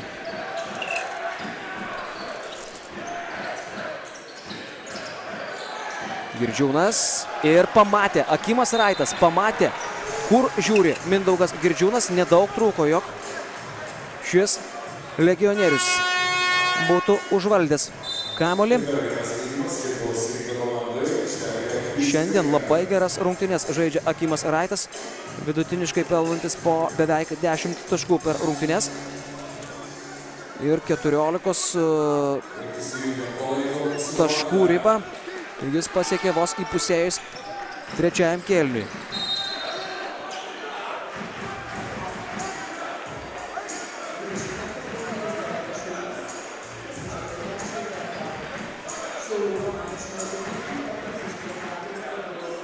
Beje, įspūdis toks, kad Akimas Raitas žino, kaip žaisti prieš Lietuvos rytą. Jeigu prisimintume paskutinę komandų akistatą čia Vilniuje, kurią Lietuvos rytas laimėjo po dviejų pratesimo, Akimas Raitas tada sumetė 21 tašką per 41 minutę ant parketo. Rokas Gedraitis įma kamolį. Ir jeigu ne Rokas Gedraitis, tų rungtynių Lietuvos rytas tikrai nebūtų laimėjęs. Puikiai, puikiai žaidė mačo gale. Roberto Gedraičio sunus, beje, tose rungtynėse Šiaulius treniravo būtent Robertas Gedraitis, pavadavęs Antanas Sireika ir rusiškus kiksmažodžius Roberto Gedraičio e, lūpose galėjote įskaityti, kai Rokas skandino tėvo treniruojamą komandą. Gedraitis atlieka staigų metimą, jau reikėjo mesti, Benui Medžinui atšoka kamuolys. Krisas Kreimeris Štai tokį metimą atlieka prieš Lauriną Birutį, sakyčiau, netgi žulus. Kriso Kreimerio metimas ir drasus. Bet aišku, aukštą trajektoriją. Kitaip per Lauriną Birutį ir neišeis Evaldas Šaulys ir Rokas Gedraitis nespėjo. Pražanga. Antroji Rokui Gedraičiui ir tuo pačiu siunčianti prie baudų metimų linijos Evaldą Šaulį. Penktoji komandinė Lietuvos rytui.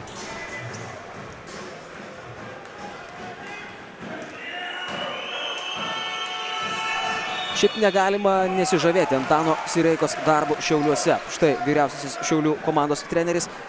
Tikrai sudėtingoje situacijoje pernai buvo Šiauliai.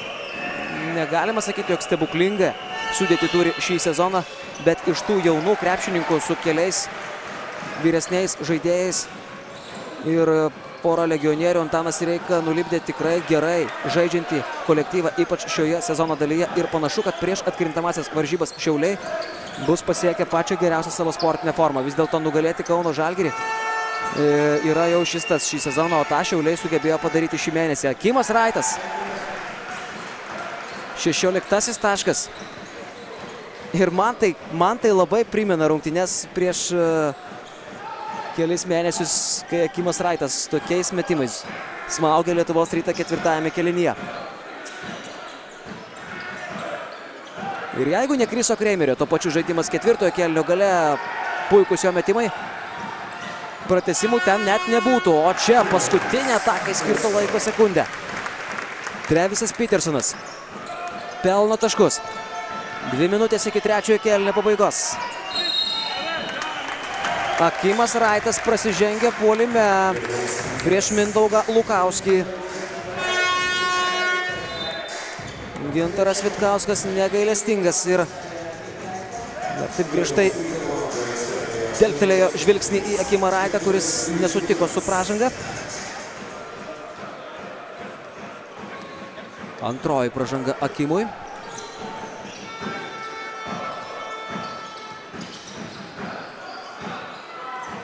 Benas Medžinas netaikliai iš toli, Nikas Zeislovtas atkovoja kamolį. Atakų per Lauriną Birutį beveik nematome. Nikas Zeislovtas atlieka staigų metimą. Netaiklus jis. Rokas Gedraitis jau skuba į priekį, atakuoja Donatas Sabetskį ir stabdo. Stabdo įvykius. Laurinui Biručiui šiandien tiesiog nėra kuo kvepuoti. Jis visą laiką yra varžovų gynybos globoje. Dar kartą Medžianas iš to paties taško ir antrą kartą pramesti jis nelinkęs. Lygo. 60. 60.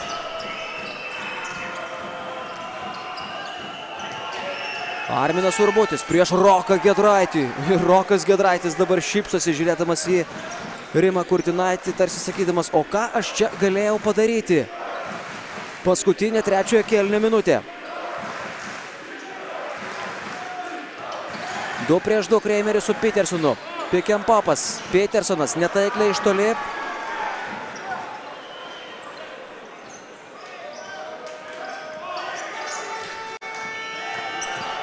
Sabeckis ir pražanga polime. Tam pačiam Sabeckiui. Arbitras sako, kad neatsitiktinai. Čia krito Mindaugas Girdžiūnas. Kontaktas.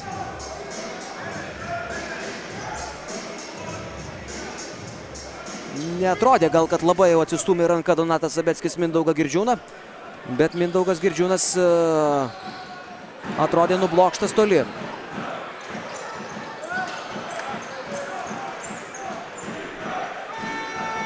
Krisas Kreimeris. Net ir laisvas šiandien nesijaučia užtikrintas, mesdamas iš toli.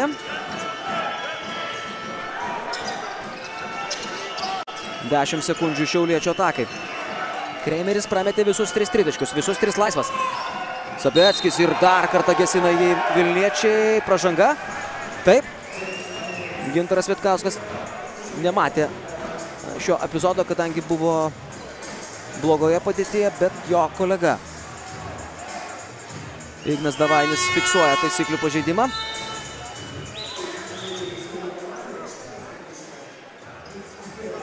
Rytis Pipiras ir Kristupas Žemaitis.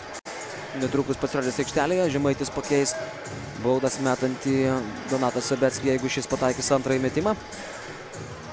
Ir Rytis Pipiras keičia Lauriną Birutį, kuris ir vėl nuleista galva priverstas palikti aikštelę.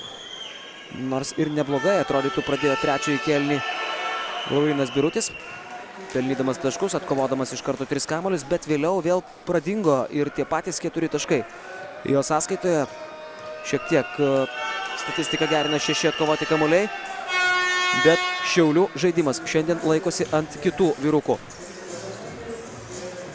Donatas Sabeckis ir Akimas Raitas prisėda ant suolo. Štai Akimo Raito žaidimą ir reikėtų išskirti labiausiai. Beje, Sabeckis irgi, nors pelnęs tik keturis taškus, bet jau atlikęs septynis rezultatyvius perdavimus.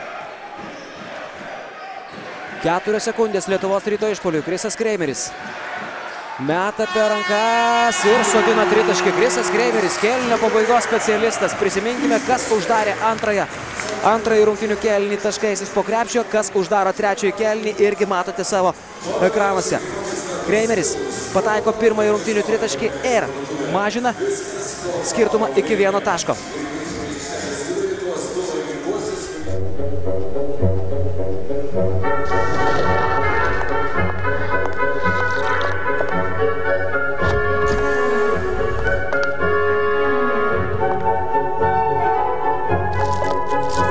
Rinkis Miles ir automobilis tau padėkos. Circle K. Take it easy. Vichy Classic. Tyras, išgrynintas sidabru.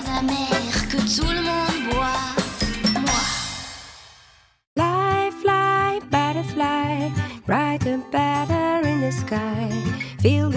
Skrydžiai į Aziją, JAV ir Europą su Ukrainos avialinijomis.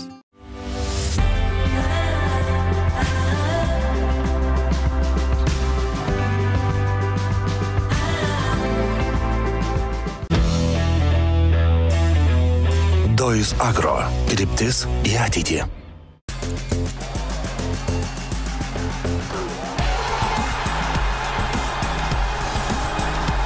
BetSafe – lažybos, kazino. Išalkote pergalių. Restoranuose Charlie Pizza. Pasitikite jas ragaudami naujas pizzas su nuolaidomis net iki 66 procentų. Charlie Pizza – taikliausias pasirinkimas.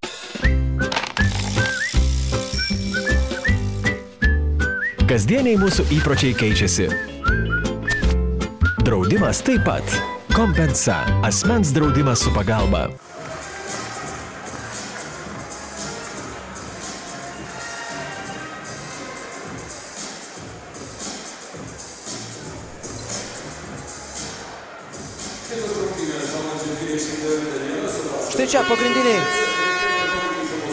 Taškų rodikliai per kelnius Lietuvos ryto komanda.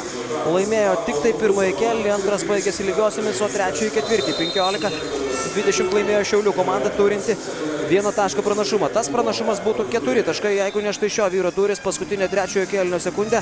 Krisas Kreimeris įsūdė tolimą bombą. Pirmasis e, jo taiklus metimas šiandien Lietuvos ryto įžaidėjai. Kreimeris ir Girdžiūnas e, žaidžia gerai. Kreimerio sąskaitoje 10 taškų, 6 perdimai, 2 atkovoti kamuoliai, 2 perimti kamuoliai ir 13 naudingumo balų Mindaugas Girdžiūnas. Nors ir nebuvo toks ryškus trečiajame kelinyje, bet už nuopelnus antrajame galima duoti medalį. 15 taškų, 6 rezultatyvūs perdimai, 22 naudingumo balai.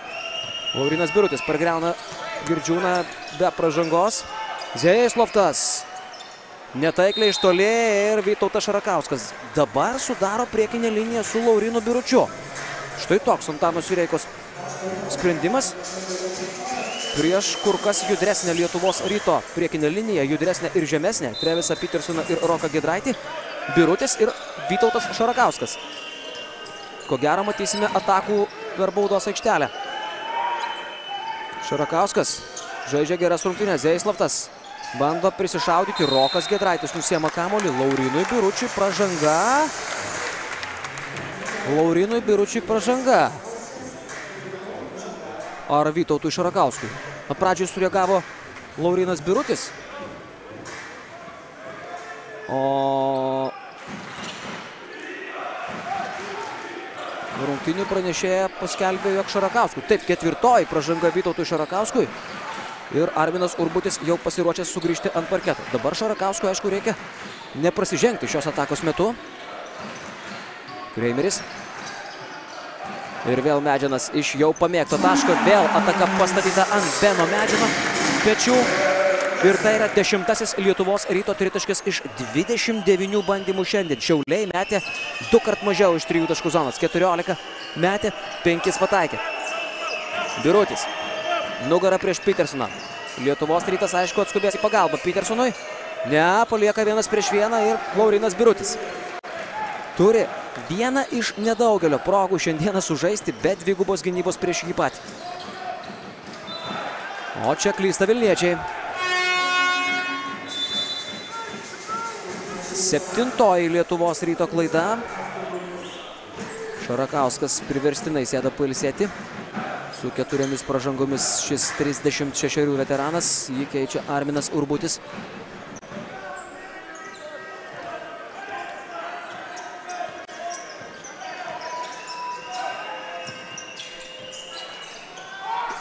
Donatas Sabeckis. Pabandė laimę iš toliau. 6-6-6-6. Petersonas nespėjo, Laurinas Birutis, taip netgi sakyčiau, vangiai šiandien atrodo Laurinas Birutis. Net ir rankos neiškėlė kaip nors bandydamas atkreipti ir nukreipti Treviso Petersono dėmesį. Sabeckis mes baudas.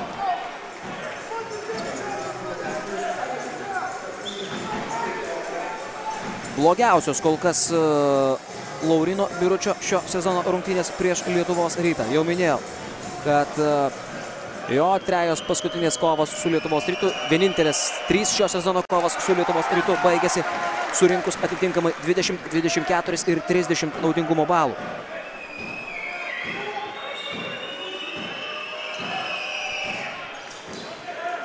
Aišku, dar ne vakaras.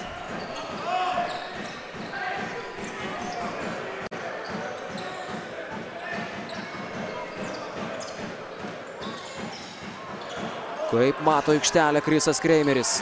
Rokas Gedraitis tūnojo ten krašte ir pastebėjo jį amerikietis. Rokas meta netaikliai, o Sabetskis klysta, gal ir nuovargio ženklai jau Šiaulių žaidime. Čia klysta ir Benas Medžinas. Nežinau, kieno čia ženklai. Nesugraibo kamuolių abiejų komandų žaidėjai. Du taškai skiria komandas, kaip ir spėjau šių rungtynių pradžioje šiandien. Matome kovą ir ketvirtajame šių rungtynių kelinyje. Šiauliai pastaruoju metu Lietuvos krepšinio lygoje niekam pergalių lengvai nedalina ir apskritai retai jas dalina.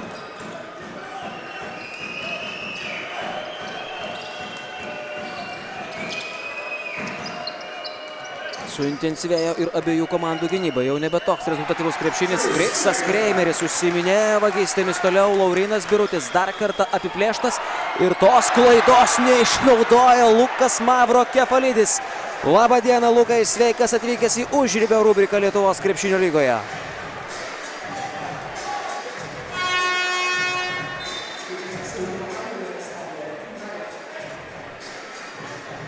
Lukas Mavro Kefalidis. Šiandien irgi sunkiai įsipaišo, o papa.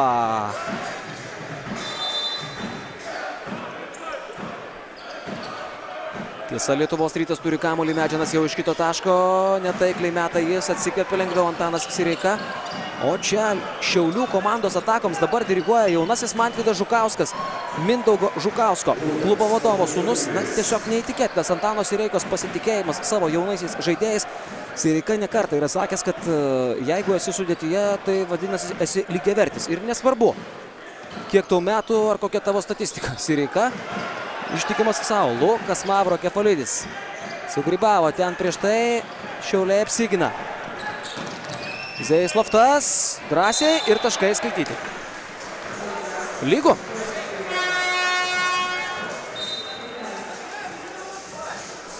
Dar kartą šis epizodas.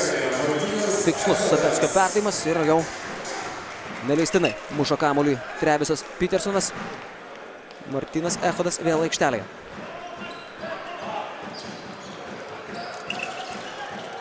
Mavro Kefalidis. Dabar iš toli bando laimę. Ko gero keis graiką Rimas Kurtinaitis, netaiklus jo tritaškis, bet Rokas Gedraitis karaliauja po krepšių, kur tarsi turėtų būti Laurino Biručio tvirtovė.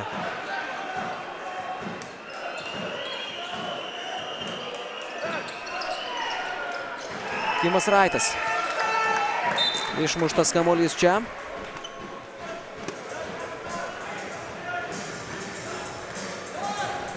Kriso Kreimerio šiandien pilna visur. Trys perimti kamolėjo, dar kiek nedaug e, truko iki kai kurių dar perimtų kamolių. Paintensyvi ir aktyvi jo gynyba, nuo dabar Donatas Sabetskis vienas prieš vieną įveikia Krisą Kreimerį. Abu aštrus žaidėjai ir Kreimeris ir Sabetskis. Augant įtampai bus irgi įdomu žiūrėti jų mikrodvikovas. Kreimeris dabar prieš Niką Zeisloftą. Zoninė Šiaulių gynyba. Mavro Kefalidis. Vėl nesėkmingai ir Graikas tikrai numušęs taikiklį. Dabar nespėja grįžti ir į gynybą. Kimas Raitas. Meta pats ir štai taip. Rimas Kurtinaitis prašo minutės pertraukėlės, po jos aikštelėje turbūt matysime Trevisą Petersono vietoje Luko Mavro Kefalidžio, kuris neatsistebi savo žaidimų žiūrėdamas į švieslentę. Pauzė. Tik kartu mes galime pasiekti didžiausių pergalių. Tapk neskiriama komandos dalimi, skirk savo 2 procentus GPM Vilniaus Lietuvos ryto krepšinio komandai.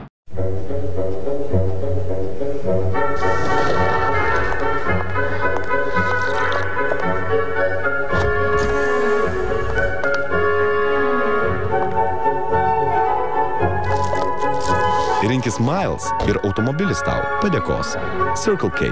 Take it easy.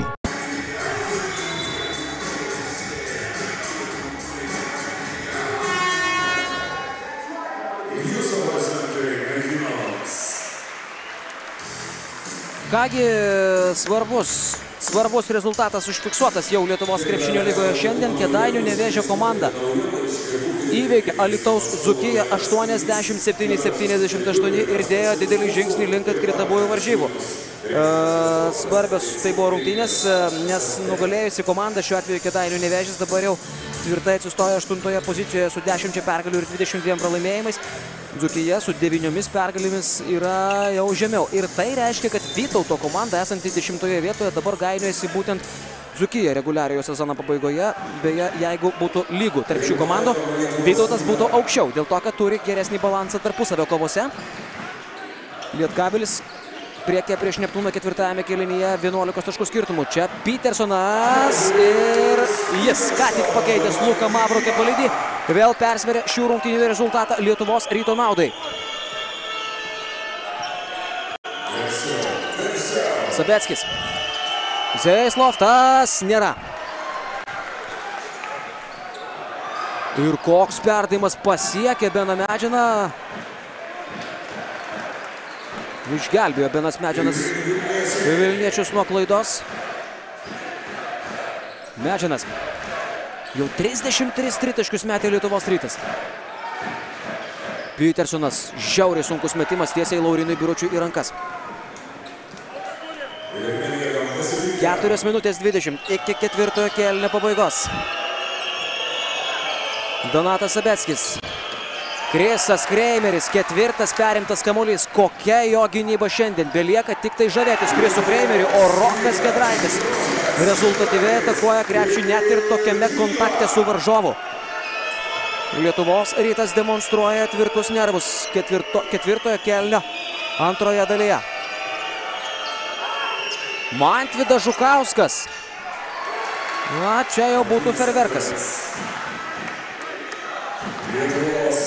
Mantvidas Žukauskas vidutiniškai žaidžia po keturias minutės šį sezoną ir jis aikštelė yra svarbiausiomis ketvirtojo kėlinio minutėmis.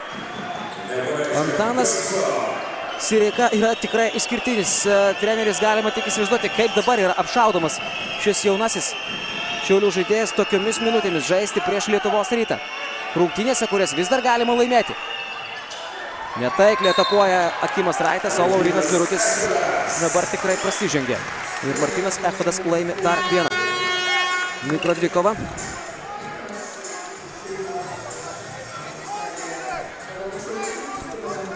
Kristupo Žemaitis ir Evaldas Šaulys aikštelėje. Laurinas Birutis sėda ant atsarginių solelio, Vytautas Šarakauskas ant parketo vietoje jo. Žemaitis, Mantvidas Žukauskas, Evaldas Šaulys, Vytautas Šarakauskas ir Akimas Raitas. Toks Šiaulių komandos penketas. Kreimeris.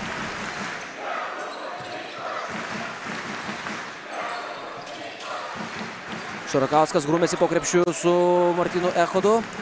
Čia gerai ginasi Evaldas Šaulys prieš Beną Medžiną. Pastarasis pameta kamuolį 4 sekundės Lietuvos ryto atakai. Krisas Kreimeris atakuoja žiauriai sudėtingą metimą ir pataiko. Krisas Kreimeris per Mantvidą Žukauską čia jau niekuo neapkaltinsi.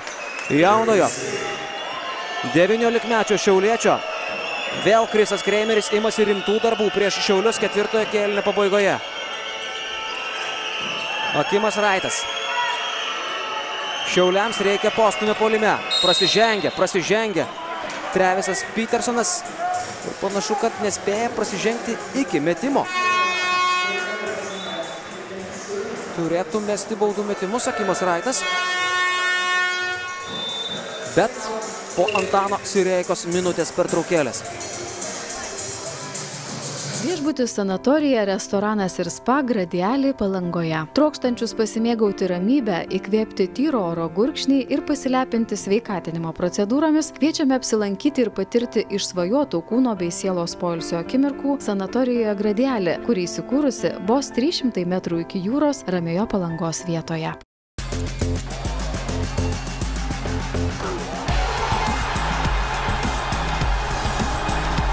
BetSafe, lažybos, kazino. Klasiokai, negalės dalyvauti susitikime. Mane užpylė. Leis savo viską su didžiausiais Eurojackpot laimėjimais nuo 10 iki 90 milijonų eurų. Dojus Agro. Kryptis į ateitį.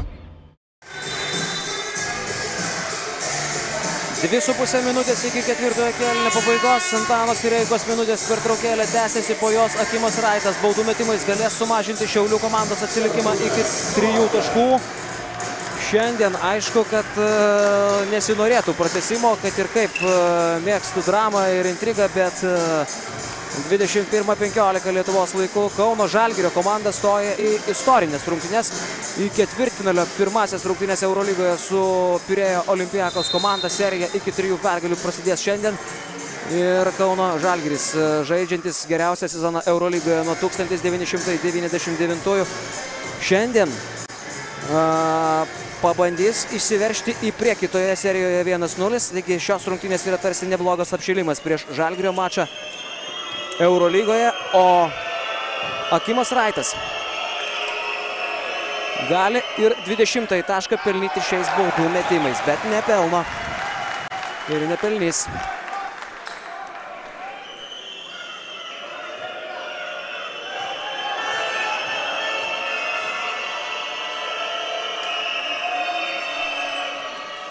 Abu baudų metimus prameta Akimas Raitas, prieš tai sumetęs visus keturis šiuose rungtynėse, dabar labai svarbių momentų Šiauliams. Nepelno taškų.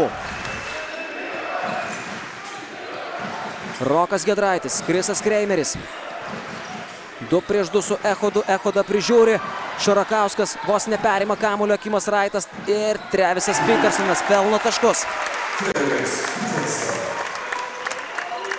Šiauliai ant bedugnės krašto ir reikia rezultatyvios atakos. Donatas Sabeckis. Šaulys. Vytautas Šarakauskas meta per Martyną Echodą. Trūksta jau ir kvapo šiauliečiams. Ir Lietuvos rytas yra labai arti pergalės šiuose rungtynėse. Pergalės, kuri turbūt jau ir galutinai įtvirtintų Lietuvos rytą antroje turnyro lentelės pozicijoje, kadangi Panevežio Lietkabilis tikrai nugalės, na, dar netikrai, bet jau labai realu, kad nugalės Klaipėdos Neptūną. Ten 15 taškų skiria komandas Panevežiečių naudai, o Krisas Kreimeris įkala labai skaudų vinį Šiauliams, didindamas skirtumą iki 10 taškų. Krisas Kreimeris ir vėl šį sezoną ketvirtajame kelinyje prieš Šiaulius, kai pastarėjai dar gali kabintis, kasa jiems duobę. Skaičiai. Visas mūsų gyvenimas sudarytas iš skaičių. Tikimybės yra stipresnė jėga. Aistra. Jei nerūpi skaičiai, jie dega sirgalių širdis, žaidėjų akis. BetSafe lažybos kazino.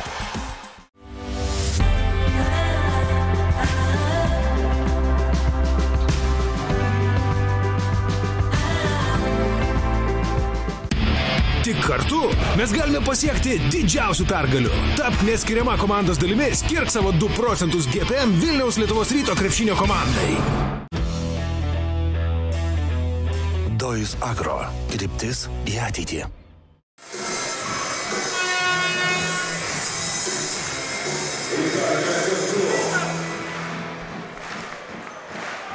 Vilniaus Lietuvos ryto komanda yra labai arti pergalės e, šiuose rungtynėse, sužaidusi iki šios akimirkos tikrai solidų ketvirtąjį kelnį. Lietuvos ryto ekipa pirmaujanti ketvirtajame kelnyje 29. Panašu, kad įveiks Šiaulių komandą. Šiauliams dabar, aišku, reikia trumpinti atakas, e, pageidautina mesti iš trijų taškų zonas. Ir kaip nors dar patampyti šiandien nervus Lietuvos rytui. Benas Medžinas prasižengė, tai ketvirtoji pražanga Lietuvos rytui.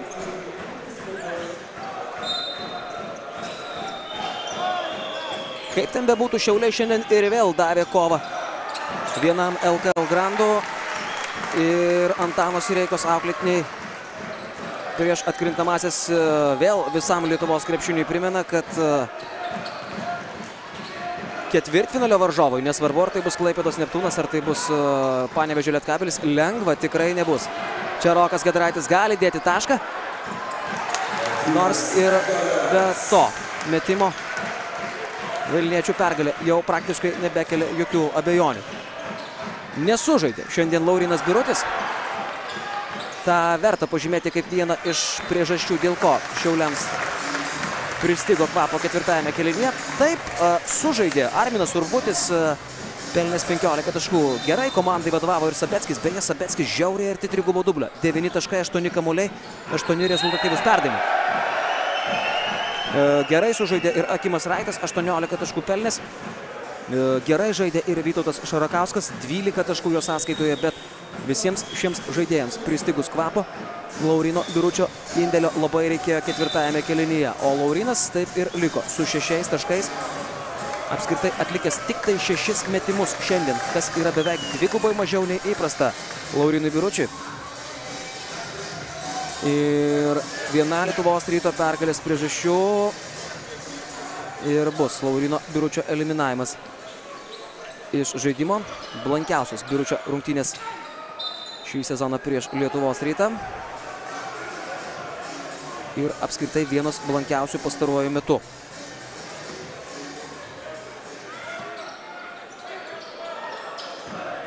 Specialiai pažiūrėjau statistiką per paskutinėsias penkerias rungtynės Laurinas Birutis aikštelės nebuvo palikęs pelnydamas mažiau nei 16 taškų ir surinkdamas mažiau nei 20 naudingumo balų.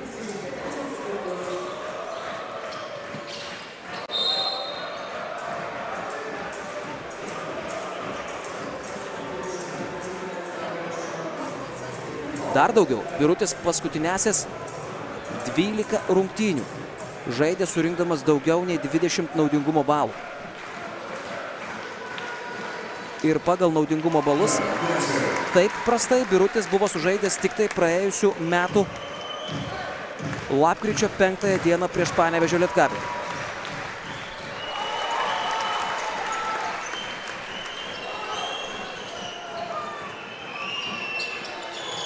Donatas Sabeckis Biručiui, na bent jau šitą vaizdą turim šiandien, bent jau tai šiandieną padarė Sabeckis ir Birutis.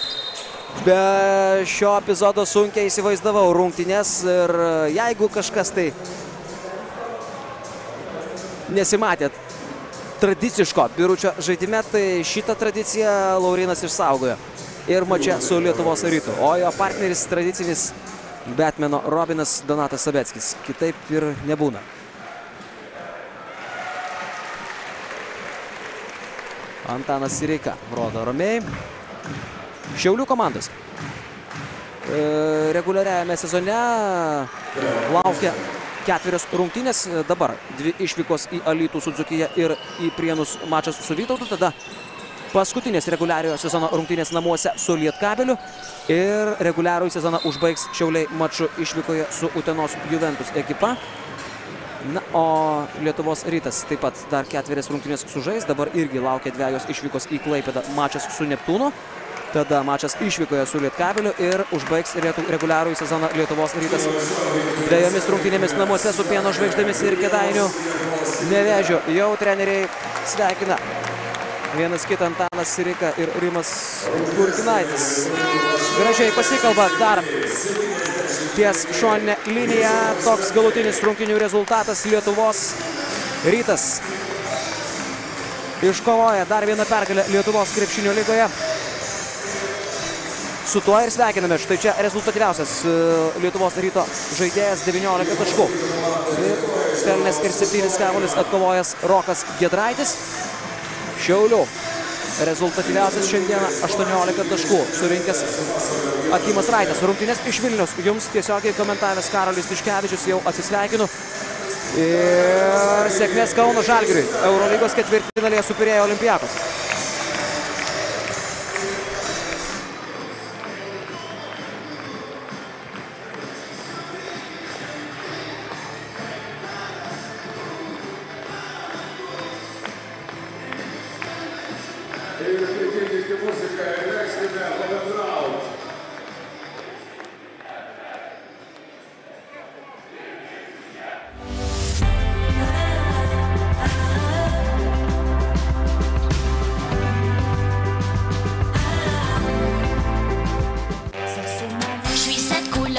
Vichy Classic. Tyras, išgrynintas sidabru.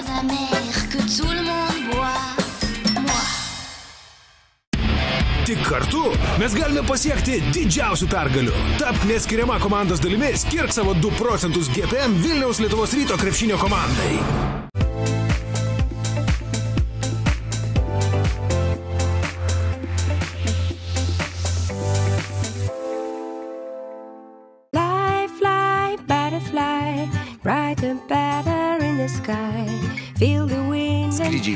Aziją, JAV ir Europą su Ukrainos avialinijomis.